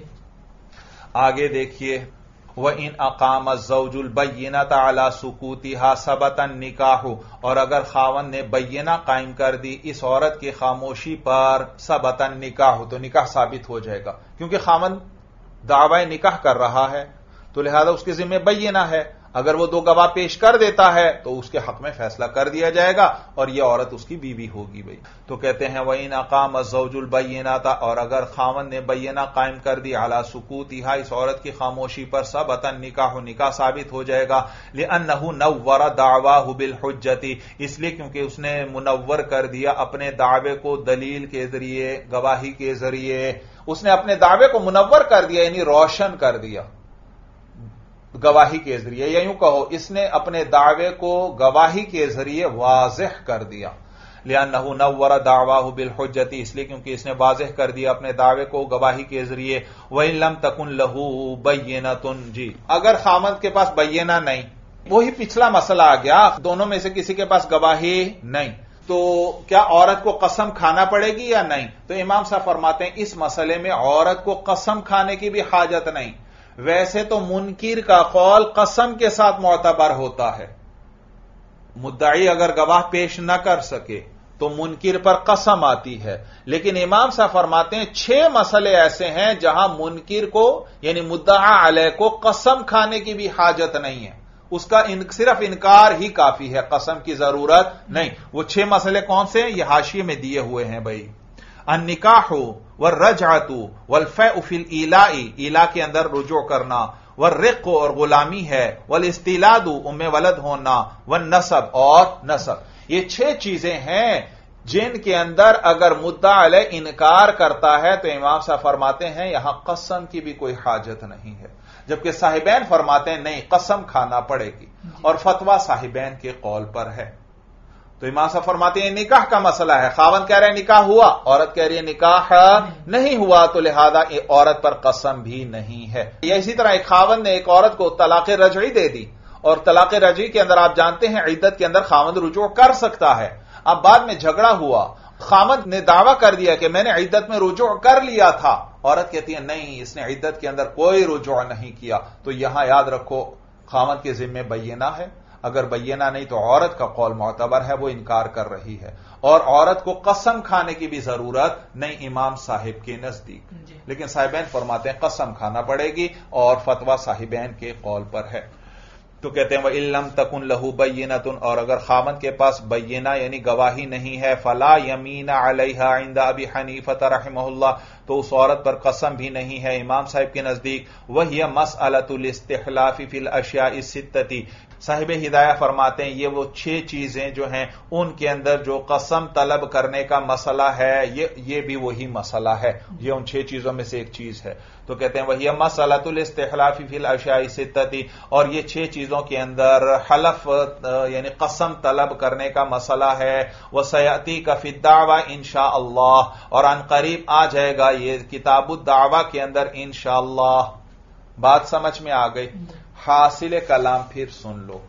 काजी के पास मुकदमा जाए तो अलबैना तो अलमुद्दाई वलीमीन अलामन अन करा मुद्दाई के जिम्मे गवाह होते हैं। अगर वो गवाह पेश न कर सके तो फिर मुद्दा आलय पर कसम आती है। और कसम हमेशा इनकार पर खाई जाती है, नफी पर। इस बात पर कसम नहीं होती। और फिर मैंने बताया कि मुद्दाई और मुद्दा आलय का पता कैसे चलेगा? तो याद रखो, जो इस बात कर रहा है, मालूम हुआ वो है मुद्दाई, और जो इनकार कर रहा है, मालूम हुआ वो है मुद्दा आलय वो है मुनकिर। बात समझ में आ गई। और अगर मुद्दाई के पास दो गवाह नहीं है, और वो कसम खाना चाहता है, नहीं भाई, उसकी कसम का कोई एतबार नहीं शरीयत में। और जो मुनकिर है मुनकिर है, उसके कौल और कसम का एतबार किया जाएगा। और फिर मैंने यह भी बताया, एक है असल और एक है खिलाफुल असल। तो जिसका दावा खिलाफुल असल का होगा, वो मुद्दाई होगा, और जिसका दावा असल वाला होगा, वो मुद्दा अलह होगा। और फिर मैंने यह भी बताया कि कौल उस शख्स का मोतबर होगा कि ज़ाहिर जिसका मुयद हो। ज़ाहिर जिसकी तायद कर रहा हो, कौल उसका मोतबर होगा। दूसरे के जिम्मे बैना होगी, उसके कौल का कोई एतबार नहीं है। बात समझ में आ गई। चलिए बस बेहादा मराम अल्लाह आलम भी हकीकत कलाम।